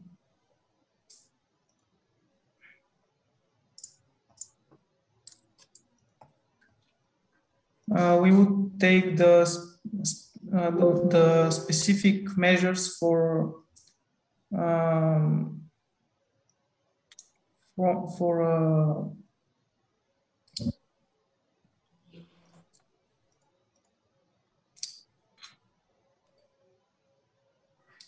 Uh, Georgi, would you help, please?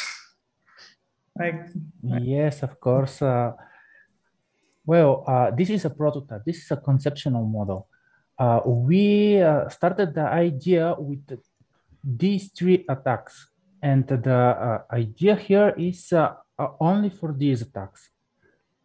We now are testing this model with uh, addition with real-time traffic because the data sets are all predefined and we know what will happen. This is a, this, uh, this is a UDP flood attack and so on. Uh, but uh, if something different is uh, coming to our network, because no, not all attacks uh, are like these three and have the same uh,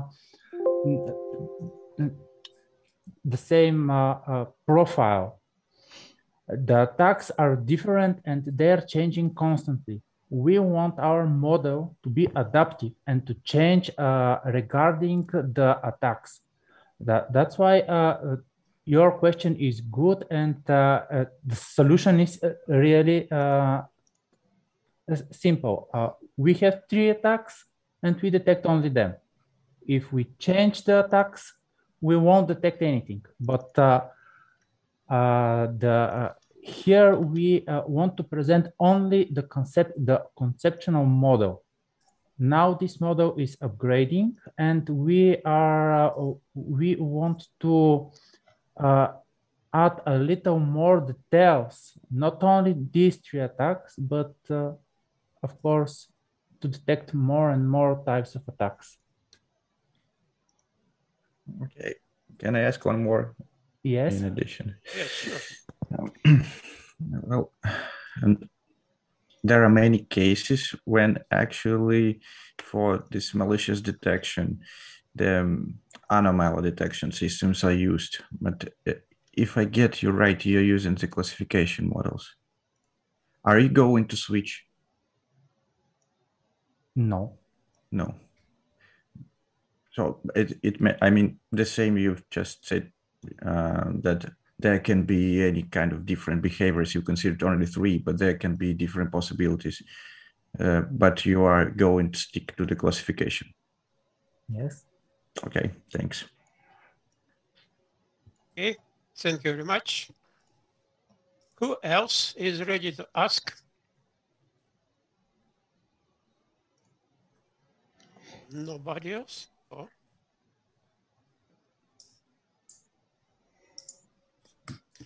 Well, thank you very much again for your presentation and uh, discussion.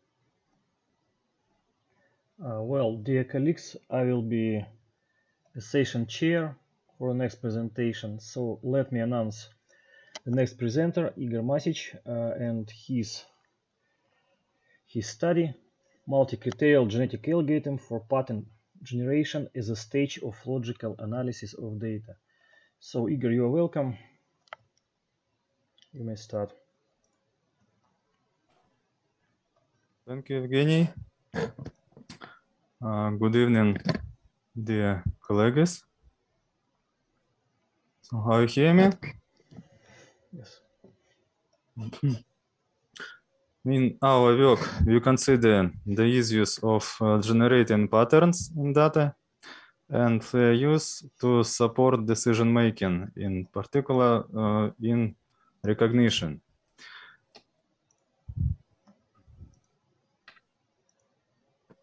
For constructing rule-based classifier, there are known strategies such as um, divide and conquer.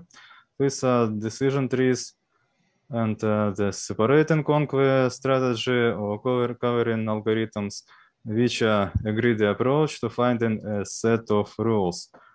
Mm, voting of the rules seems to be more profound, uh, which is an approach called logical analysis of data.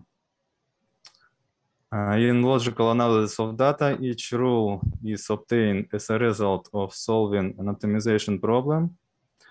Uh, this approach provides uh, justification for each new observation, why it should be considered um, positive or negative.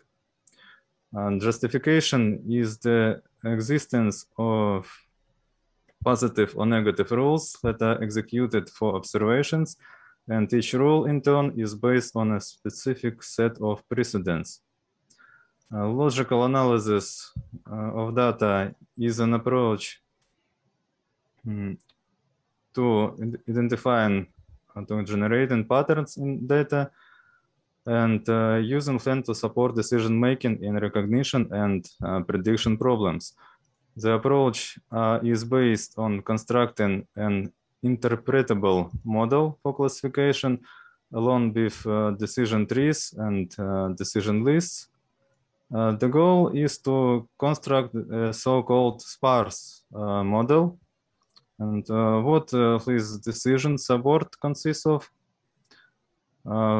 first, um, identification of significant features and their combinations, determination of the most typical uh, objects of uh, classes and uh, outliers in data, identification of new classes, and construction of sparse logical rules for recognition. The search for logical rules uh, can be found in other approaches. It is always an optimization problem to choose uh, a subset of the best rules uh, from the huge set of uh, potential rules. Uh, for example, in covering algorithms, also called separate and conquer algorithms, this is done uh, by solving the problem of covering, uh, covering the sample uh, objects by rules. a feature of logical analysis of data is that this task is divided into stages. Each stage is an optimization problem, uh, binarization, feature selection, uh, pattern detection based on selected features. However, uh, each of these problem is uh, NP hard. The first stage, uh, binarization, conversion of different types of features, in particular numerical ones, into binary features using threshold values or cut, cut points. These cut points affect uh, whether an object uh, belongs to a particular class. The result is uh, object characteristic um, data, namely binary uh, or zero one data. the next uh, feature selection the problem that there may be too many uh, binary features. uh, potential cut points. The problem is to find a small number of um, key features which are sufficient to distinguish between classes of objects. And objective is uh, determine the cut points values or key features uh, that affect uh, the classification. Uh, these cut points can be determined for by solving by solving uh, the optimization problem. Uh, here, the number of cut points is minimized, and the, res the, result optimization problem is a set covering problem. Uh, let us consider the classification problem of uh, ob for objects that are described um, uh, by binary features and are divided into two classes. Uh, consider a subset of points that um,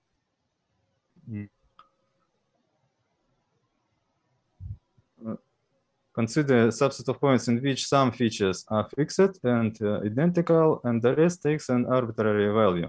Such a subset is a subcube in uh, Boolean hypercube. Uh, a pattern is a term that cover, covers at least one observation of a certain class and does not cover any observations of another class.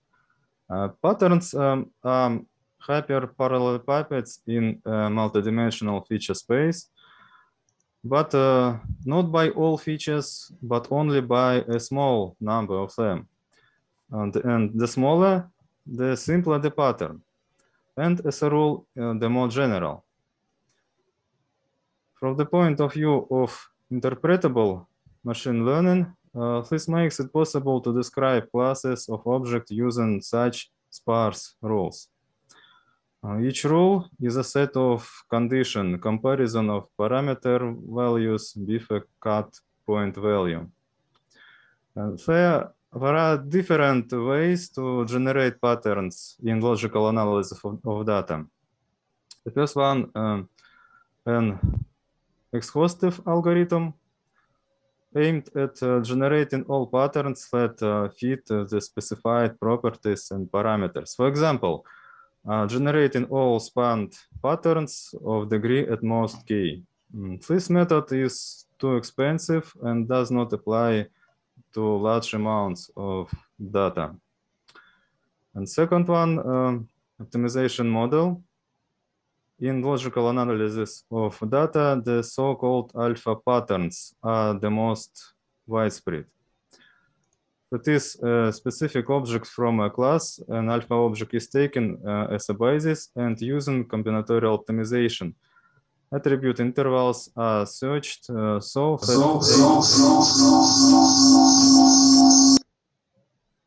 so they include uh, as many objects of a class as possible. Hmm.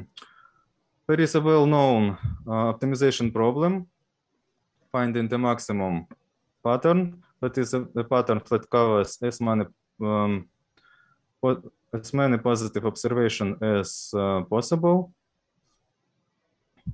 and uh, covers no negative one. Uh, the object, objective function and constraints um, are pseudo-Boolean functions and uh, usually this problem is solved uh, approximately by greedy algorithm or by um, linear uh, approximation. In applied problems, the initial data um, reflects the complexity and variety of uh, real processes and phenomena. So let us uh, list the most common flaws in the real data. Uh, data inaccuracy. Hmm. Values of the features and the target variable can be measured with errors. In some cases, uh, gross errors are possible leading to the appearance of um, outliers and uh, feature values may be missing, in which case there are empty or missing um, values in data, in the data. Uh, data inconsistency, object with the same features uh, description belongs to different classes.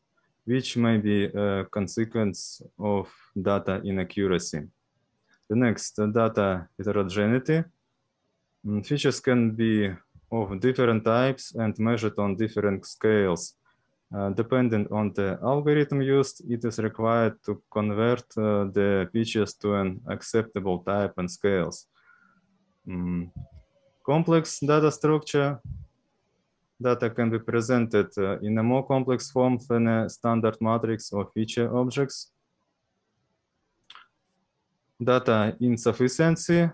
Um, the number of objects may be significantly less than the number of features.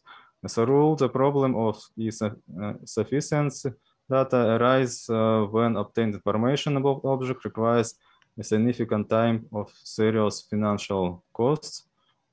And last, uh, maybe um, in systems with automatic collection and uh, accumulation of data, the opposite problems arise. Uh, data redundancy. There is so much data that uh, conventional methods process is extremely slow. And from the point of view of classification accuracy for good data, pure parents are more preferable. However, in the case of incomplete or inaccurate data, such patterns will have small coverage, which means the rejection of the search uh, for pure patterns in favor of partial. Uh, this will preserve the generalization ability and interpretability of the resulting patterns.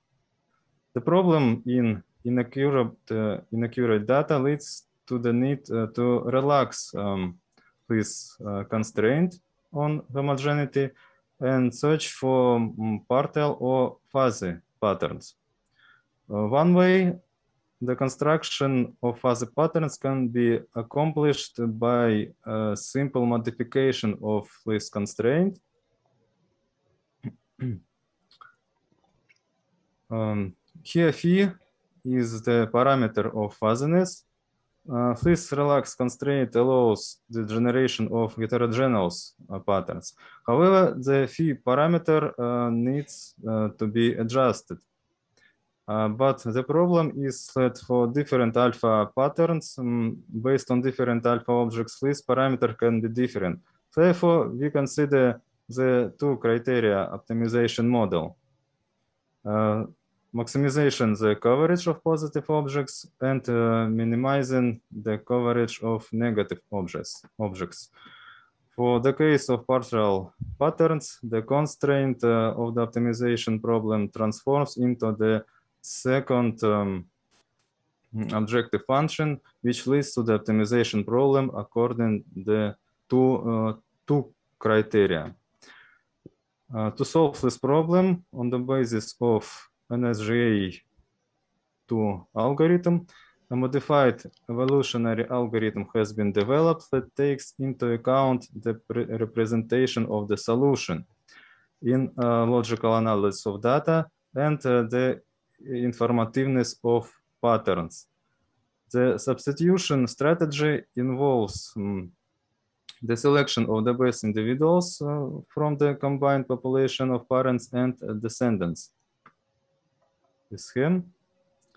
The solution are compared primarily in terms of, uh, say, belonging to the front. Then uh, the density of the solution is uh, estimated an individual's estimate is the average distance to neighboring individuals of the same front. Uh, the ordering by these two attributes is performed by the crowded uh, comparison, comparison uh, procedure, which is used in the uh, tournament selection and uh, during the popula population reduction. The optimization problem uh, is the problem of partial patterns generation. Thus, uh, the solution uh, to the problem is the set of points in the space of control um, variables that approximate the Pareto front for a given alpha object. Uh, the binary representation of the solution determined uh, the available crossover and mutation mm, operator operators. Uh, we use uniform mm, crossover and mutation by gene inversion. In a space where the axes uh, are the number of mm, covered observation of the base and non-base class, the uniform coverage of the Pareto front is not required since uh, a more preferable area is, uh, is this area mm, with a smaller coverage of the observation of the negative class. Moreover, mm, similar covers of the patterns do not mean similar patterns. So uh, we replace the crowding mm, distance by one of the heuristic definition, def definitions of uh, informativeness. Mm. Generation of the initial set of individuals uh, is carried out as follows. Since uh, an equal probability of dropping uh, 0 and 1 will mean the fixation of half of the feature in the initial population. Uh, this gives over, um, over selective pattern.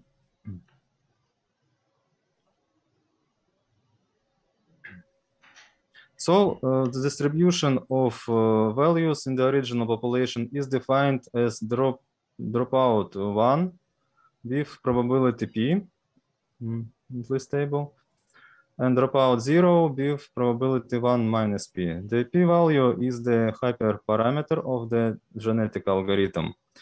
Uh, the algorithm starts um, independently for each uh, baseline observation. The launch result is a set of patterns uh, of the first uh, front patterns. The sets of patterns obtained for each baseline observations uh, were combined into one full set uh, of patterns, uh, which can be reduced using the pattern selection procedure. And when recognizing test observation, the decision about the class is made by simple or uh, weighted voting um, of patterns. So algorithm modification we made solution are encoded um, as binary string. The crowded distance is replaced um, by heuristic uh, determination of the informativeness of pattern. Uh, we consider the problem of uh, diagnosis uh, breast cancer on a sample collected uh, in Wisconsin. Since the attributes in the data take um, on uh, numeric values, uh, Fanfare binarization is necessary. That is the transition of new binary attributes. Uh, the final set of patterns includes patterns of the first front from the final population of solution. Uh, the first front can contain big uh, number of patterns. The final set of patterns is complete from the point of view of covering the, the observations of the training sample. That is, um, each observation will be covered by at least uh, one uh, pattern from this set. And um, a series of experiments uh, were carried out with different uh, probability of dropping one. when uh, initializing control variables in the first population of the genetic algorithm. Um, a complete set of patterns was uh, independently constructed for each um, probability. The resulting complete sets of patterns are shown in the coordinates of the number of covered um, observations of its own and uh, the opposite classes. In the case of um, equally probable uh, drop in zero, uh, 0 0.5.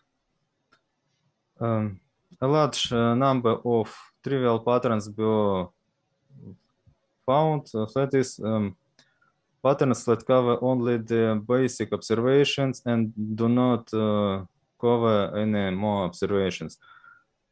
And these patterns are over, over selective, over selective. But uh, with decrease um, in the probability to 0 0.3 and 0 0.1,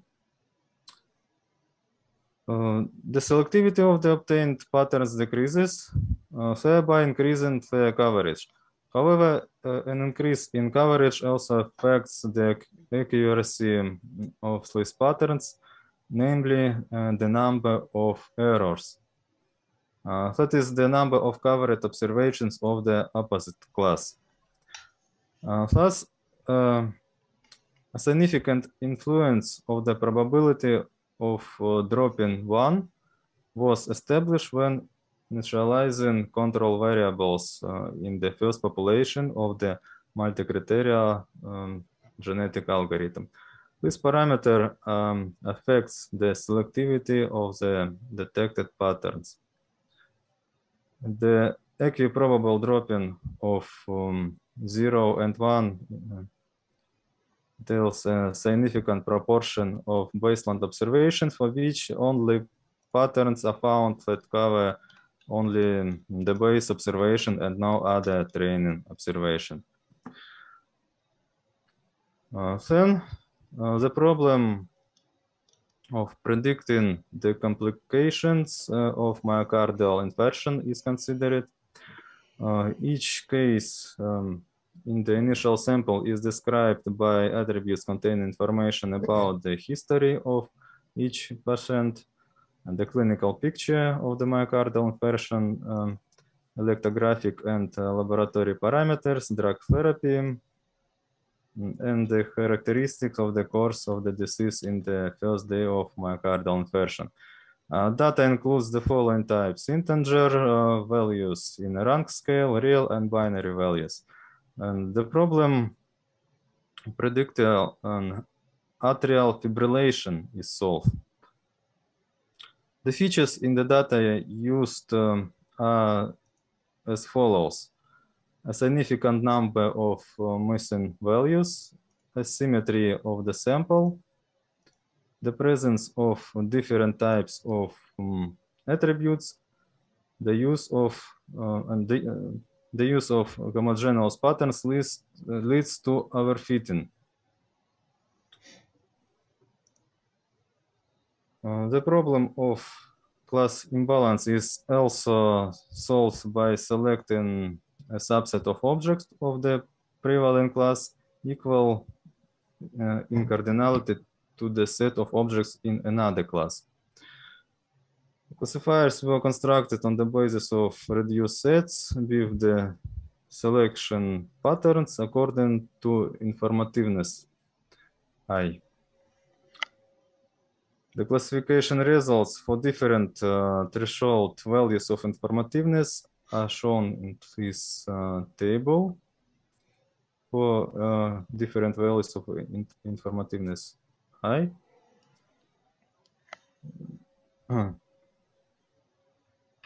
Uh, these figures uh, show the generated sets of patterns in the coordinates of the number of covered observations of um, its own and the opposite class.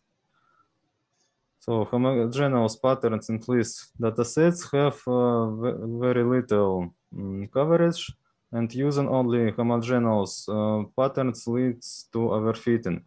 Uh, relaxation of the homogeneity constraints requires adjusting the threshold, the right side of the constraint, which can be difficult since uh, when solving a series of problems of finding patterns, the best balance between coverage and uh, homogeneity mm, for one patterns may be far from patterns uh, from the best for another patterns. Uh, the proposed approach simplifies the search for this balance since uh, it takes into account many Pareto optimal patterns. Uh, this allows to prevent uh, overfitting in contrast with using only homogeneous patterns or patterns with a given threshold for homogeneity. Uh, comparative tests using cross-validation were carried out on the most famous datasets from UCI uh, repository. Uh, here the ML column contains results for algorithms that give the highest accuracy among these common uh, used machine learning algorithms. also, comparison was carried out with um, logical analysis of data um, but re realization in Weka, LADWeka package uh, at various fixed uh, fuzziness um, value phi. Uh, the value of the fuzziness parameter affects the size, coverage, and uh, informativeness of the resultant patterns, and uh, ultimately affects the classification accuracy. Uh, in the logical analysis of data, it is necessary to find uh, many alpha patterns based on different baseline observations. but for um, each pattern, the most appropriate fuzziness value may be different. Uh, the use of the model with two criteria and the corresponding optimization algorithm allows us to find a set of Pareto optimal patterns without uh, the need uh, to fix the Fleece fuzziness value. And Fleece uh, expands the, the possibilities of logical analysis of data and can uh, improve the classification accuracy. So this study uh, refers to the generation of patterns as the main stage of logical analysis of data. Mm. Traditionally, the search for patterns is formulated as one criterion optimization problem uh, to find uh, patterns that cover, covers uh, the largest number of positive observations and does not cover negative observations. And with assumption for the patterns uh, to be heterogeneous, the problem turns into mm, a search for compromise between the maximization of the coverage of positive observations and the minimization of the coverage of negative observations. Uh, in this case, the approach to finding patterns in the form of an approximation of the Pareto optimal front is promising. Evolutionary algorithms um, are a suitable tool for solving such a problem, as they are inherently population algorithms, which means uh, they are potentially capable of covering the front. As a result of our work, an increase in the efficiency of solving the classification problem was achieved by finding more informative patterns in the data uh, taking into account the coverage of objects of different classes. Uh, we propose a modification of the NSGA uh, algorithm for the pattern generation as an approximation of the Pareto set and tested it on applied uh, classification problems. So that's all. Thank you very much for attention. Thank you very much. Thank you for such interesting presentation. So we have time for one or two questions. So you can ask if you if you want.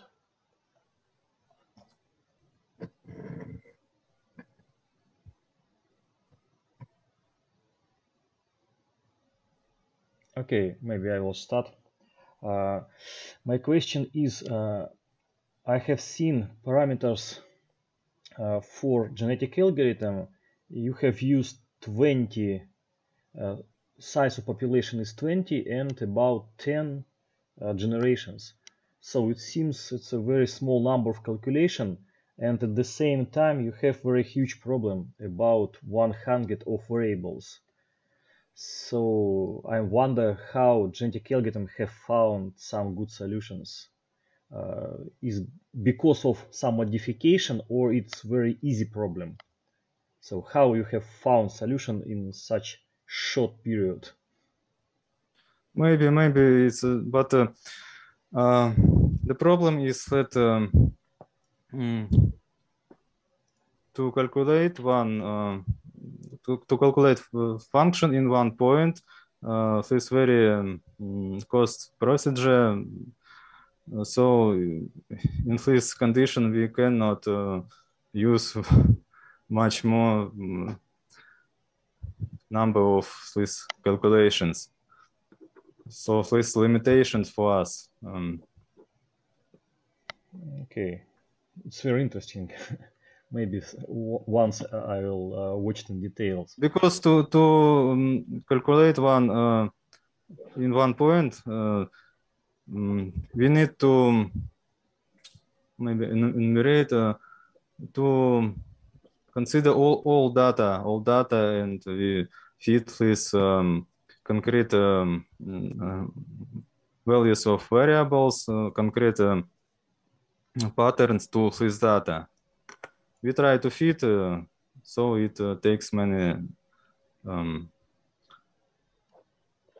many much time. Okay, I see. Thank you. Uh, okay, if somebody have one short question, otherwise we will continue.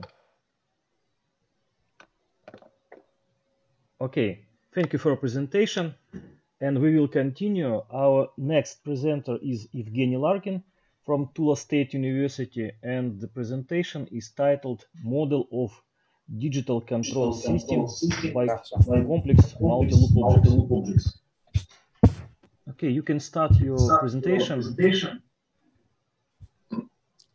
Uh, Dear colleges, Сейчас, сейчас, сейчас. Все, наше видно.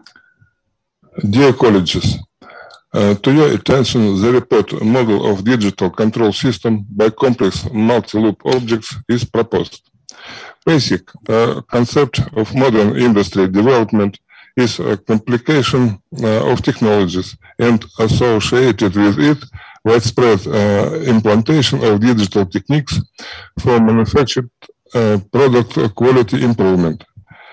Transition to new digital control technologies is linked with utilization as controller von Neumann type uh, computers, which possess, in comparison with analog uh, controllers, new properties linked with uh, sequential uh, interpretation of control uh, algorithm operators unfolding in real physical time.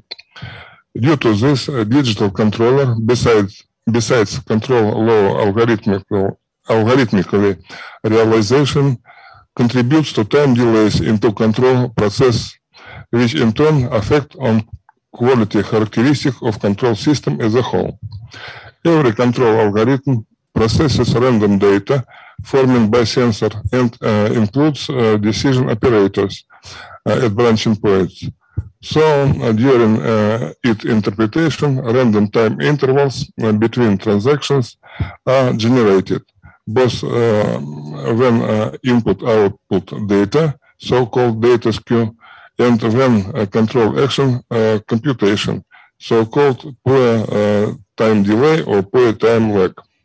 At the same time, industry equipment which uh, transit to new control technologies should provide uh, required product quality regardless regardless on random time factors. So there is the scientific problem uh, of uh, digital control system uh, models creation, which takes into account real physical characteristics of digital controllers and may be used as basic model when controller had software uh, synthesis. Problem uh, formulation is shown on the slide one. Yes. Slide one. Slide one. Yes. Uh, object under investigation of the present threat is the digital control system by complex multi-loop industrial uh, objects. Subject of investigation of industrial digital control system is a model of operation which takes into account real properties of the von Neumann type uh, controllers. Problem uh, arising uh, when system operates problem arising when system operates. Time delays uh, evoked with operator by operator interpretation of control algorithm by von Neumann type controllers unfolding in real physical time uh, is the destabilizing factor which takes system uh, performance worse. Methods uh, taken into account this factor are not uh, in right use when engineering synthesis of industrial control system. So, so it explains the necessity and urgency of research in this area. All results uh, were obtained by use of semi-Markov process theory and control system theory. Solving the problem permit to create engineering method of industrial digital control system design with soft of arbitrary complexity, which include uh, performance optimizing uh, procedure by uh, means of uh, variation of soft. Next slide. Next. Next, yes. Digital control system of uh, functional scheme uh, is classical and shown on the slide two. System uh, includes the digital controller and the object under control linked with interface. Object under control actuated by uh, control vector U is uh, characterized uh, with state vector X whose value is measured by sensors uh, which transform uh, state vector x into uh, feedback signal vector x sub o. The in- input vector f may be formed inside controller or maybe applied to controller uh, ex- externally through the interface. On the controller side of the interface vector u vectors um, u, f, and x um, are uh, represented as set of data u sub c, uh, f sub c, and x sub c. The system operate, operation unfolds in uh, the physical time t. Next, next. Next. Yes. Flowchart of uh, embedded digital control system is shown on the slide three. Structure uh, includes transfer function of object out under control, phi transfer function of feedback uh, sensors, phi sub o, transfer functions of uh, delays, n sub o, transfer functions of delay in uh, actuator uh, interface, n sub uh, v transfer function of uh, desired state uh, interface f uh, n sub f. The matrix of uh, feedback uh, data processing by digital controller phi sub o c matrix of uh, desired state uh, data processor processing by digital controller f sub f uh, c in all uh, blocks, uh, S uh, is the Laplace variable or differentiation operator. System operates as follows. Desired equipment state vector through the interface is uh, inputted at a digital controller, where is compared with uh, current state of industrial installation, measured by sensor and inputted to controller 2 different signal after proper uh, computation uh, through the interface is transmitted to uh, electric drive uh, of actuators.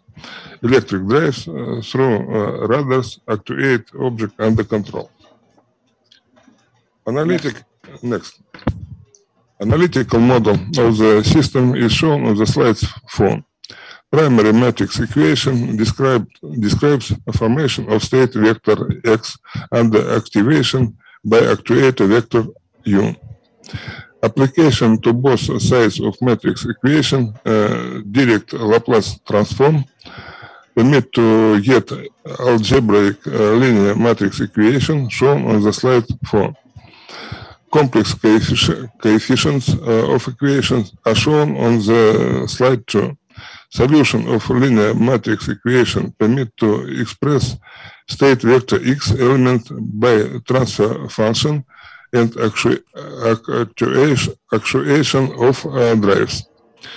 Uh, data processing in controller is shown on the slide 5. Description of control algorithm interpretation consists of two parts. Source processing of data and operation of the digital controller as a physical device with its real characteristics. Data processing uh, in digital controller close feedback loops in the system, so it performed by differential equations shown on the slide. Application to both sides of matrix equation direct Laplace transform permit to get algebraic uh, linear matrix equation shown on the slide. Complex coefficient of equation are shown on the slide too. Solutions to linear mat matrix equation permit uh, to express actuation effect through transfer function uh, and on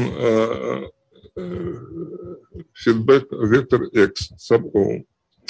The rigorously same operation of a digital controller may be described uh, with use so-called Z-transform.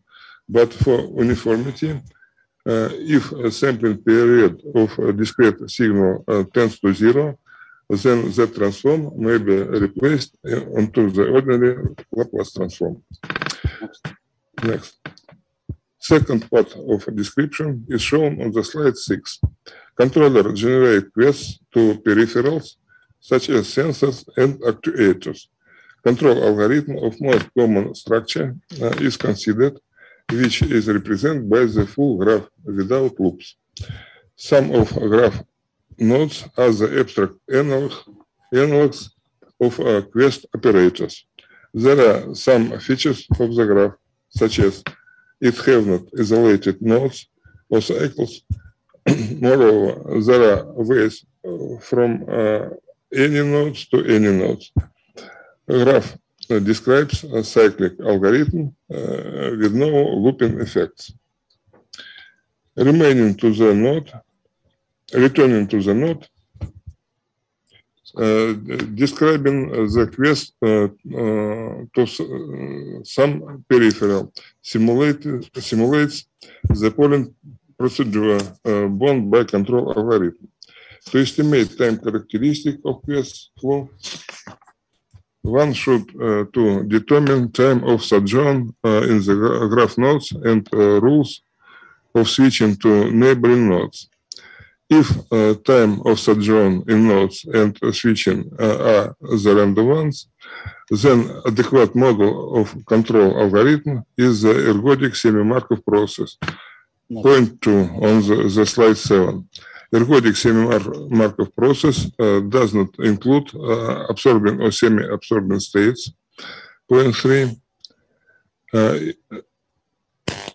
time of sojourn in the states of semi-Markov process is de described with accuracy to densities.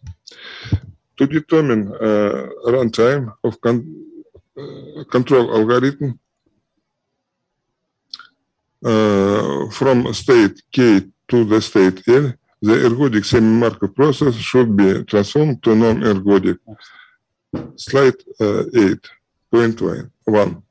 For this purpose, case uh, column of uh, else uh, row and else row of uh, semi-Markov matrix should be reset to zeros. Probabilities uh, in all uh, rows uh, excluding uh, else and all columns excluding case should be recalculated as it uh, is shown on the slide. Common formula for estimation is shown on the slide 8. Point 2. For time density uh, should be determined expectation and dispersion. Uh, time delay is, recommend, is recommended to determine on three sigma rule as it is shown on the point three. Next. Uh, as an example, two-loop system is considered. Slide 8. System include object under control uh, and digital controller. Uh, feedback uh, signals in the system are generated, generated with inertialess sensors, which measures a state vector.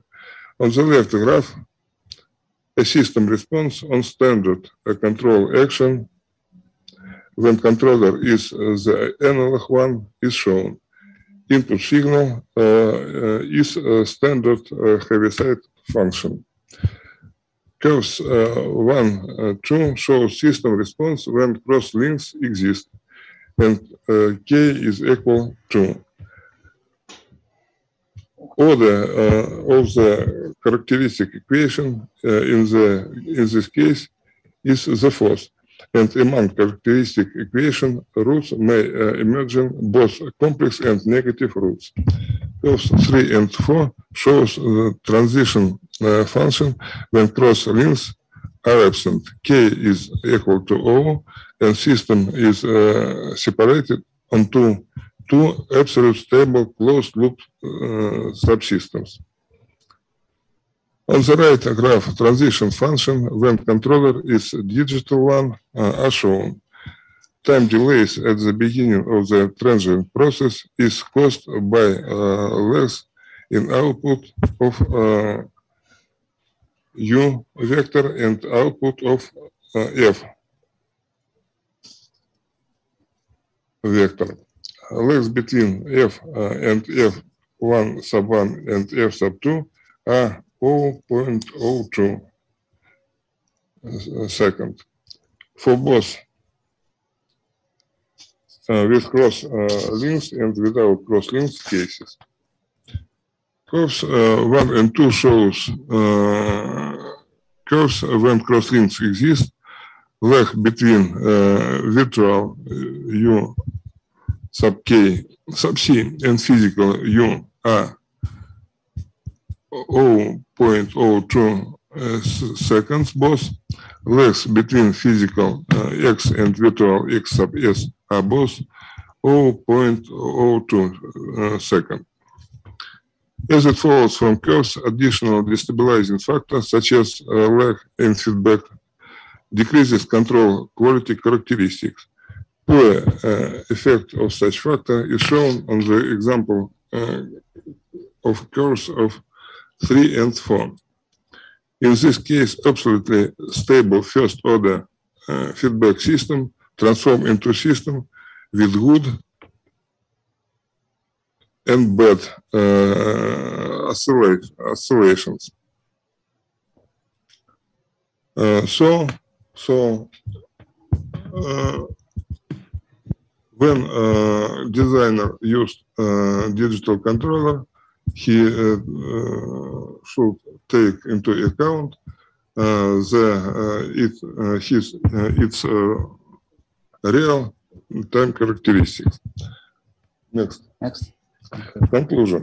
As a result, the analytical mathematical model of digital controller by complex object, which takes into account estimation of Neumann type controller time characteristics, when uh, interpreted control algorithm of arbitrary complexity is worked out. It is shown that controllers of such uh, type uh, bond time delays in the system which in turn leads to deterioration quality characteristics of control process as a whole.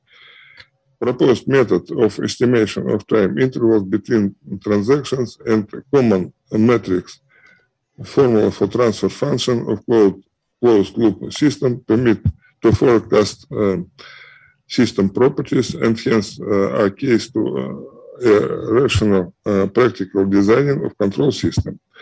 Further investigation in the domain may be directed to working out model of digital control by non-linear objects and method of uh, practical digital control algorithm synthesis optimal to complexity ratio, complexity quality ratio, which takes into account real von Neumann computer characteristic as uh, an element of a digital control system. Thank you for attention.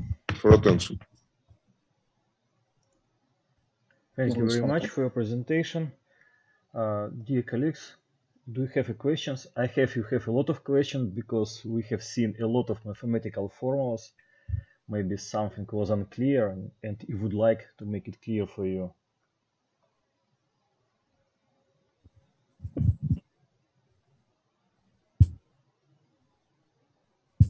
No questions.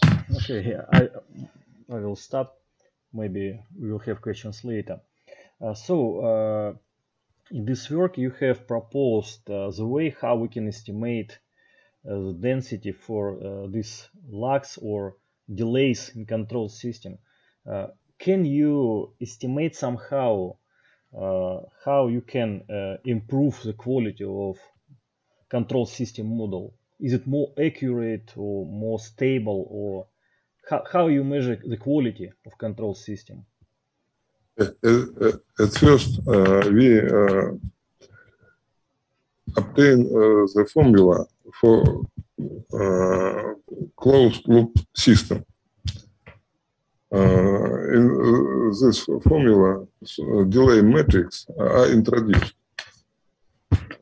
these metrics are n sub f, n sub o, n sub u. without this formula, calculation of transient process is impossible. This is the first result. Uh, so when design designer uh, design uh, the soft of a controller, he may on every step of э, his work to estimate э, the quality characteristics э, of system, performance of system, and correct the his soft of controller. Okay. Yes. the method of correction we do not propose. Okay, I see. Uh, when, when you have said uh, impossible, do you mean uh, analytical formula? But can we use another approach, some numerical approach? So we can, we can see this the whole system as a black box and just imagine that we have some delays inside. So and build some some equation for the whole system and it will take in account any delays. Maybe it will be not very accurate, but at least we can try. So what, what the, I'm sorry, the, the task of uh, the, the, the task of uh, control uh, by object is the calculation uh, exact actions uh, exact action may be calculated only when a model of object under control is analytical. This is my opinion. I'm sorry. Okay. I see. Thank you. Uh, does anybody have a question?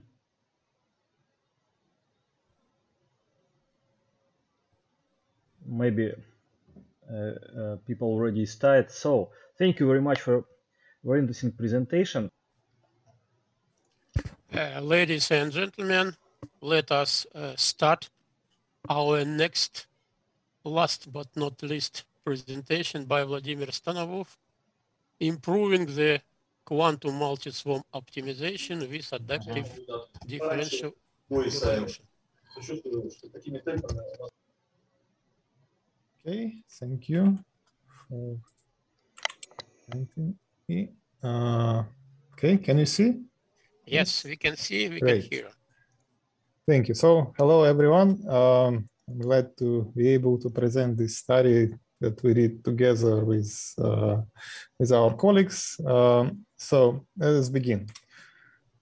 First of all, this is the short outline of the presentation. So first, I will say a little bit about motivation and the problem statement, what, what we are trying to do, then some related work, proposed approaches, and then uh, results. So first of all, let us uh, let us say a couple of words about uh, dynamic optimization problems. So uh, most optimization problems in, in real life are actually dynamic, although we consider uh, usually static optimization problems, but uh, in fact, during to the changes in the, real systems, uh, the, the optimum uh, may have some drift. It may change its position over time.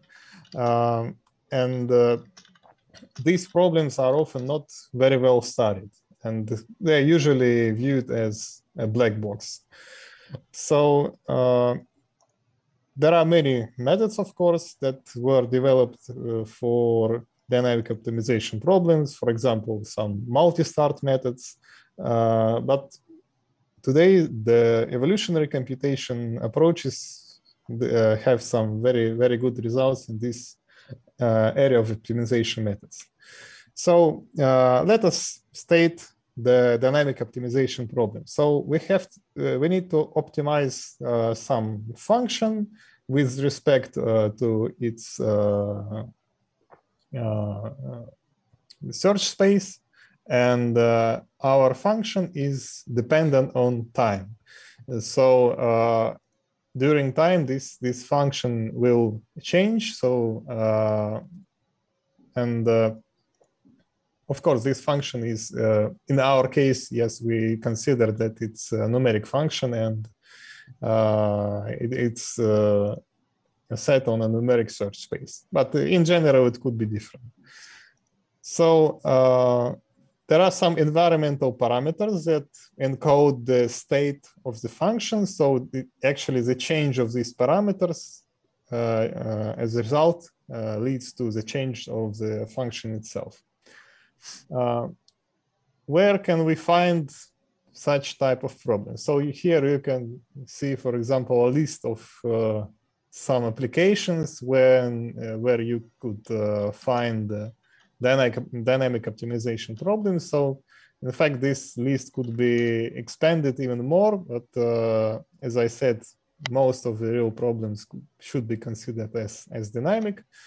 So, but uh, this is usually some parameter estimation functions uh, uh, which are connected to some real physical processes. Uh, of course, this uh, the area of dynamic optimization is developing. Especially, it was uh, rapidly developing in the first part of 2000s. Now, this publication trend is not very high, but uh, this doesn't mean that these problems are, are not interesting uh, uh, for the area. So the trend is still growing, but uh, it's just hit some limit probably. So uh, why actually we are even talking about dynamic optimization problems? So what, what is actually so, uh, so difficult about them?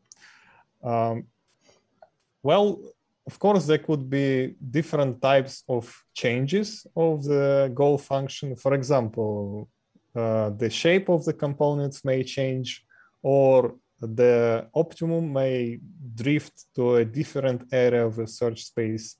Uh, for example, the, the condition number of uh, the components of the goal function may change. Uh, their complexity, new optimum may emerge or function may be rotated in the search space and so on. So there could be a variety of different changes that uh, that uh, may happen to the um, to the function. So here on the pictures you could see some of the things that may happen to our uh, goal function. And on the lower picture, the the drift of the optimum uh, position, uh, how it will uh, change with some different parameters for, for the benchmark that we used in this study. So uh, there are there is a variety of, uh, of methods that are often used for dynamic optimization problems. For example, uh, the swarm intelligence uh, methods are more popular for this type of problems like uh, particle swarm optimization and their modifications. So in this study, we considered one of such methods. It's so-called multi-swarm quantum uh, quantum swarm optimization, and uh, it has several important features. So this is a method that was specifically developed for dynamic optimization. So it has se uh, several features such as uh, application of uh, exclusion, uh, anti-convergence, and uh, it has charge and quantum swarms. And of course, it's multi, multi-swarm algorithm. So exclusion is uh, when we have two, um, for example, two small swarms uh, are uh, converging to the same optimum. In this case, we reset one of the swarms because we don't need them to find the same optimum. We need them to track several different optimum at the same time. And also there is anti-convergence mechanism uh, that uh, says that at least one swarm should always be in the process of search. So if uh, if all swarms are uh, uh, to some uh, local optimum, we will reset the, the worst of them. So here you can see on the left part the the main two equations equations for the particle swarm optimization.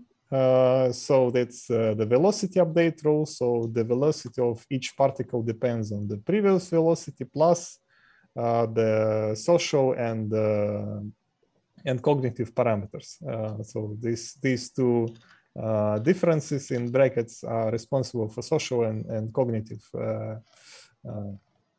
change in the velocity and then we simply update the position of the point. So, uh, and as I said, in the MQSO algorithm, uh, there, there, are also uh, so-called quantum particles that are actually um, sampled in, a, in a, uh, around around the best position and the charged particles which move uh, around the BEF position uh, in a predefined, uh, predefined uh, track. So on the right part of the slide, you could uh, you may see the modifications that we proposed. So instead of using simply the um, equations for the particle swarm optimization, we decided to add uh, some parts of the differential evolution algorithm. So uh, the idea here is to use the rand/1 uh, mutation strategy. It's relatively simple, but we used it in uh, two scenarios. First of them, we used the current positions of points. So these uh, R1, R2, and R3 are randomly sampled uh, number of individuals. And in the second case, we use the, the um, the best known positions of particles. So uh, moreover, uh, we decided that maybe it's not a good idea to use differential evolution very often, this search operator instead of the classical operator used in the in, uh, particle swarm optimization. Uh, so uh, we applied this differential evolution uh, search with a small probability set to 0.2 at the beginning, and then we uh, changed it uh, during the search process. So we estimated the improvement delivered by differential evolution and improvement delivered by swarm optimization. So, and if differential evolution search was more efficient, then uh, we let these um, search operators to be applied more often. So this was the main idea. So, and we tested two versions actually without this adaptation. So with fixed uh, um, probability to apply this differential search operator fixed to 0.2 and with uh, adaptive uh, probability uh, change. So next about the, the test problems that we used in this case. So there is this generalized moving peaks benchmarks that was proposed uh, quite recently uh, last year, as I know. So um, its main idea is uh, to present a general uh, scheme, a general uh, benchmark uh, set that would allow different types of dynamic optimization algorithms to be uh, tested in uh, in the same uh, in the same challenging scenarios. So there are actually eight scenarios that are in this benchmark. So uh, they change, uh, uh, they, their difference is if the function is separable or non-separable, they change in uh, component modality, it's multimodal or unimodal, ill conditioned or uh, non ill conditioned, also rotated, not rotated. so in our study, we used the most difficult case. So it's non-separable, multimodal, and uh, ill-conditioned and rotated function. So it's F4 scenario uh, because, well, the, it's the most interesting case. Um, so next, uh, the, the parameters of the algorithm uh, you can see on the slide. So these are some standard uh, recommended parameters for the PSO algorithm and there were 10 uh, swarms with five individual in each. Uh, so yeah, we set the number of function evaluations to 2000, which is a more challenging case, and uh, 5000, less challenging scenario. So, and as I said, the probability of uh, differential evolution is 0.2, and the exclusion factor is uh, um, the parameter that's responsible for detection of conversions to the same optimum. So we made 31 independent run. This is according to the rules set by um, the, the developers of this benchmark. Uh, and uh, let's say also about evaluation criteria. Obviously, we cannot use uh, the same criteria as for static optimization problems. So uh, in this case, we have uh, three criteria. First is the best error before change. So before each change of the function, we measure how good uh, was the convergence, how how close we were to the optimum function value. Mm. So the second is called offline error. Uh, so this is uh, uh, sum of uh, differences between the values achieved by algorithm and optimum value. So uh, it's like we average uh, over the whole uh, search process for every time step. And also off, offline error, the second case is when we simply calculate the values that were achieved by the algorithm. So yes, uh, X with O on the top is the optimum position and X with a star is the best found position.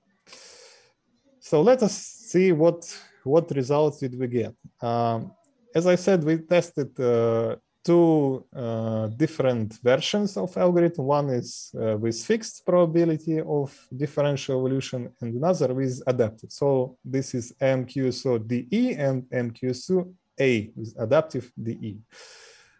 So uh, you can see the three values of uh, uh, of this performance uh, criteria and in in these cases the best uh, the best results were achieved by the adaptive version of uh, algorithm with differential evolution. On the lower part of the slide you can see the pairwise uh, Mann-Whitney test. So in fact we uh, we observed that the algorithm with uh, modification is uh, better in almost all cases. But if we compare the adaptive and non-adaptive uh, version of the modification, the difference is not significant, although the adaptive is always a little bit better. So, but this was uh, the case of less challenging scenario with 5,000 function evaluation between uh, changes. Uh, in a more challenging scenario on this slide, we have 2000 function evaluations and we have a function change. So in this case, the non-adaptive version uh, showed a little bit better results. Although, uh, yes, it was uh, better, uh, significantly better according to Mann-Whitney test than the standard MQS algorithm. Uh, but uh, nevertheless, the difference between the MQSO DE and MQSO ADE was not significant. Um, so uh, here you can see on the graphs the, the graph of offline errors of, uh, of these two scenarios. So on the left is this, uh, the case with 2000 function evaluation between changes. And yes, we have, uh, we have uh, um, uh, one, 100 changes. So you can see that the offline error values, which is the average of uh, all uh, differences between the optimum and the, uh, the actual uh, best found solution for both MQSO-DE and MQSO-ADE is, is, uh, is better. So the graph goes lower than for the basic MQSO. And the same is uh, uh, for the second case with 5,000 function variation between changes. So again, the, the modified algorithms have shown better results.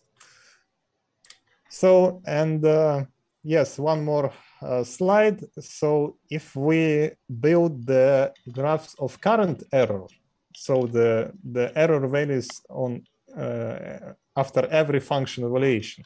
So you can see some differences in the behavior of algorithms. So in fact, if you look at MQSO, uh, you can see that it uh, converges much slower at the uh, at the beginning. So it reaches uh, um, the error value of 100 later than the MQSO ADE. But there is uh, one more thing. Uh, the the diversity inside the population seems to be much larger in the case when we use differential evolution. So if we look at the gap between the best solution and the worst solution uh, at the end of, uh, of the optimization process, this, uh, this gap is uh, much bigger in the cases when we use differential evolution as an additional search operator. So uh, our our belief is that uh, this uh, this operator also helps uh, the algorithm to increase diversity, which at the end leads to um, better better uh, results and better tracking of global or at least local optima. So in conclusion, uh, what can we say? That first of all, we propose this modification and it was efficient in both standard and more challenging scenarios. So even if we have only 2000 function evaluations, the differential evolution still helped uh, to track the optimum. Um, although differential evolution is worse, but combining these two methods uh, could be efficient in some cases. Of course, we could try to apply other search operators to MQSO, or we could try to apply similar modification to uh, some other uh, dynamic optimization methods. So thank you for your attention. I will be glad to answer your questions. Uh, thank you very much, dear colleagues. Please, your questions. Yeah, can I ask one question? Yes. Yes, sure. Yeah, Vladimir, I'm glad to see you. Me too. Yeah, and also, can you explain, are there any ways to estimate how fast changing is happening in the environment? For example, if this change is happening at all, or it happens so fast that the algorithm just cannot keep up with these changes, and we need to allocate more resources to add more individuals to the population, for instance, or we can save some resources at the current stage? Mm, well, um, okay, in this benchmark, uh, you see they mm, the idea of developers of this benchmark is that uh, they say we know that the change will happen, and the algorithm is actually informed about the change. Mhm. Uh, it is not told when will it happen, but when it happens, the algorithm gets this information. It may react to this case. As for changing the number of individuals, uh, like increasing or decreasing, well, we don't know what will be better uh, because we don't know how many function evaluations do we have. If we would know that, okay, we have like 20,000, yes, we will increase the population, we will make a more, more efficient search, uh, more explorative search, but we don't know. So mm, yeah, that's that's a difficult situation here. So And do you have something to say about real world problems? Like in this benchmark, you said you know the changes are happening and the algorithm is informed. Yes, yes. This this looks quite strange if you think about it. It's like we are uh, always aware of, of the change. Yes, uh, but actually, mm, as long as we've found in the literature and in, in many papers, uh, the the researchers state that uh, actually you always know or almost always know that the change happens. So there is no not so many no not much sense in uh, developing detection methods. Okay this uh, this is a little bit strange for me actually. Mm-hmm. yeah uh, just but never worked this is this is how this is how it works in this area. Mm, i don't know exactly why. That's curious. but they say that we know we know that it will change Okay, thank you. Okay, thank you very much. Ivan, would you like to ask? What? We cannot hear you. Oh, sorry. Now, can you? Now, yes. Yes. Okay. Please.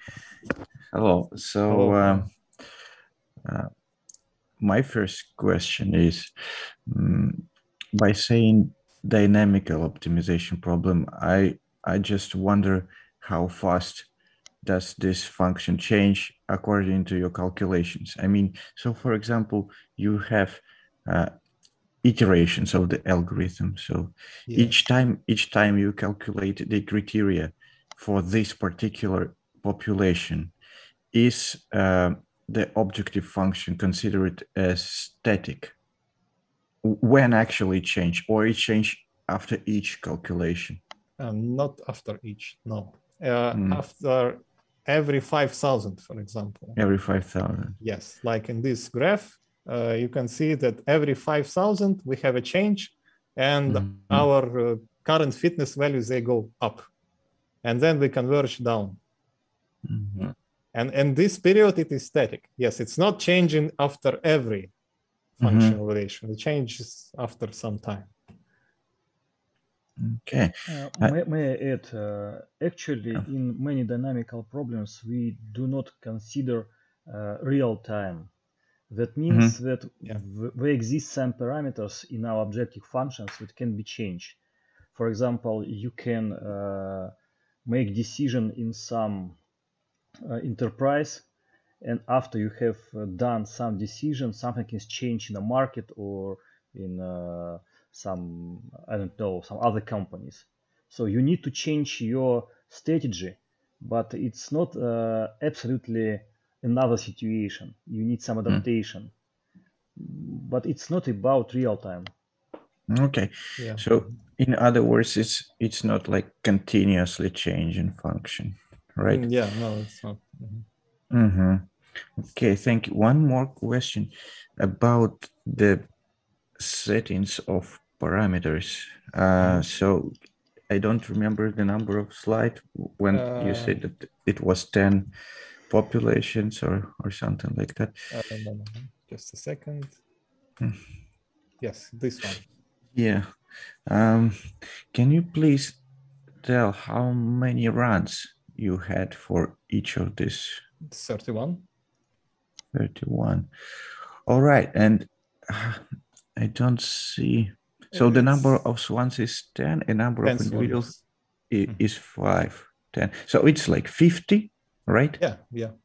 50. And you also initialize the parameters of search, like velocities. uh, I mean, th- those are random numbers, right? Uh, velocities are zeros, uh, at, the, at the in the beginning. Okay, so we have only this. Uh, and what is what is the dimension of the problem? Uh, I think it's uh, 20. 20. So okay, now we're getting closer to my question. Uh, when you when you're doing these runs for different settings of algorithm, do you use the same initial population or you're generated over every time? It's different, different every run. hmm Uh, do you think that this slight difference in um, adaptive algorithm and non-adaptive algorithm can be just because of the random chance that it had better initial population in the beginning? Mm, well, maybe, of course. Of course, it may influence. That's why we made 30 runs. And that's why we made statistical comparison. 30 runs. Yeah, okay. We, we, we had to make 300. This is what you're saying. No, no, I say that uh, um, they actually, it, it is better to have the same initial population. So we know that they are equal in the beginning. Hey, I, well, just assumption. I mean, yeah, uh, but this is not how it is usually done. I mean, uh, I actually, have I, I never, opinion, never, okay. never heard about such such uh, approach. I mean, it's it's random at the beginning. I mean, it, it should be. It should be random. Otherwise, otherwise, I mean, in a real application, you would have a random at the beginning. Okay. Okay. Yeah. Not the same. Uh, no, the, the the situation is different. Sorry if it's getting into the debates. Please stop me if it's. it's it was the Jensen, the author, who says that of course it, it should be random, but if you compare different algorithms, they need to have the same. It can be randomly generated, but it should be the same for different algorithms. So that's only the point, because I saw this slight difference in these two algorithms, and it, it is surprising that for five thousand it is outperforming, and for two it. So I, I I was just thinking that could it be the reason why? Just had bad luck in the Um, beginning. Okay, uh, you're saying that uh, for two and five thousands, the results are a little bit different. Yeah, it is. It it Okay, it can I, be. I have, it I have be. an explanation for this, actually. So uh, we, we have this uh, initial probability of applying differential evolution operators, yes? And uh, it needs some times to adapt, actually. So if it has more time between uh, changes, like 5,000, it, it- it has more time to adapt this probability. Should it be smaller? Should it be larger for this case? If it's only 2000, well, maybe we are not, we have not find the, the right probability yet. Mhm. And we will not be able because we don't have time for this. Okay. Okay. That's all. If I may, just your opinion. Mhm. Why, or or not yours, but what do you think? Why uh, this warm algorithm are outperforming the other approaches in in dynamical optimization? Mm, because here uh, it's important just to converge to something, at least something. The the the the resource of function evaluation is so small that actually approaches like differential evolution or CMAES or some other methods there. Um, how should I say? They're uh, ve- uh, very slow, and uh, I mean it's not like slow. Yes, they're um, taking step by step. They're exploring the search space. They're trying to figure out what's going on. But particle swarm optimization just goes forward. I see a good solution, I go there. That's it. Very simple strategy. It usually converges to the first found local optima, but this is is actually quite good for such a small resource. Other methods don't do this. Like if you try a simple differential evolution, it would be absolutely terrible for this type of problems compared to PSO. I mean, we don't have any change to converge to global optima. Never. No. The refer- resource is too small. Okay, thank you. Okay, thank you very much. Thank you, Vladimir, for presentation. Thank you, colleagues, for discussion. Uh, now, I have to say that today we are working very much, very hard, very long, and now we are at the finish of our today uh, session.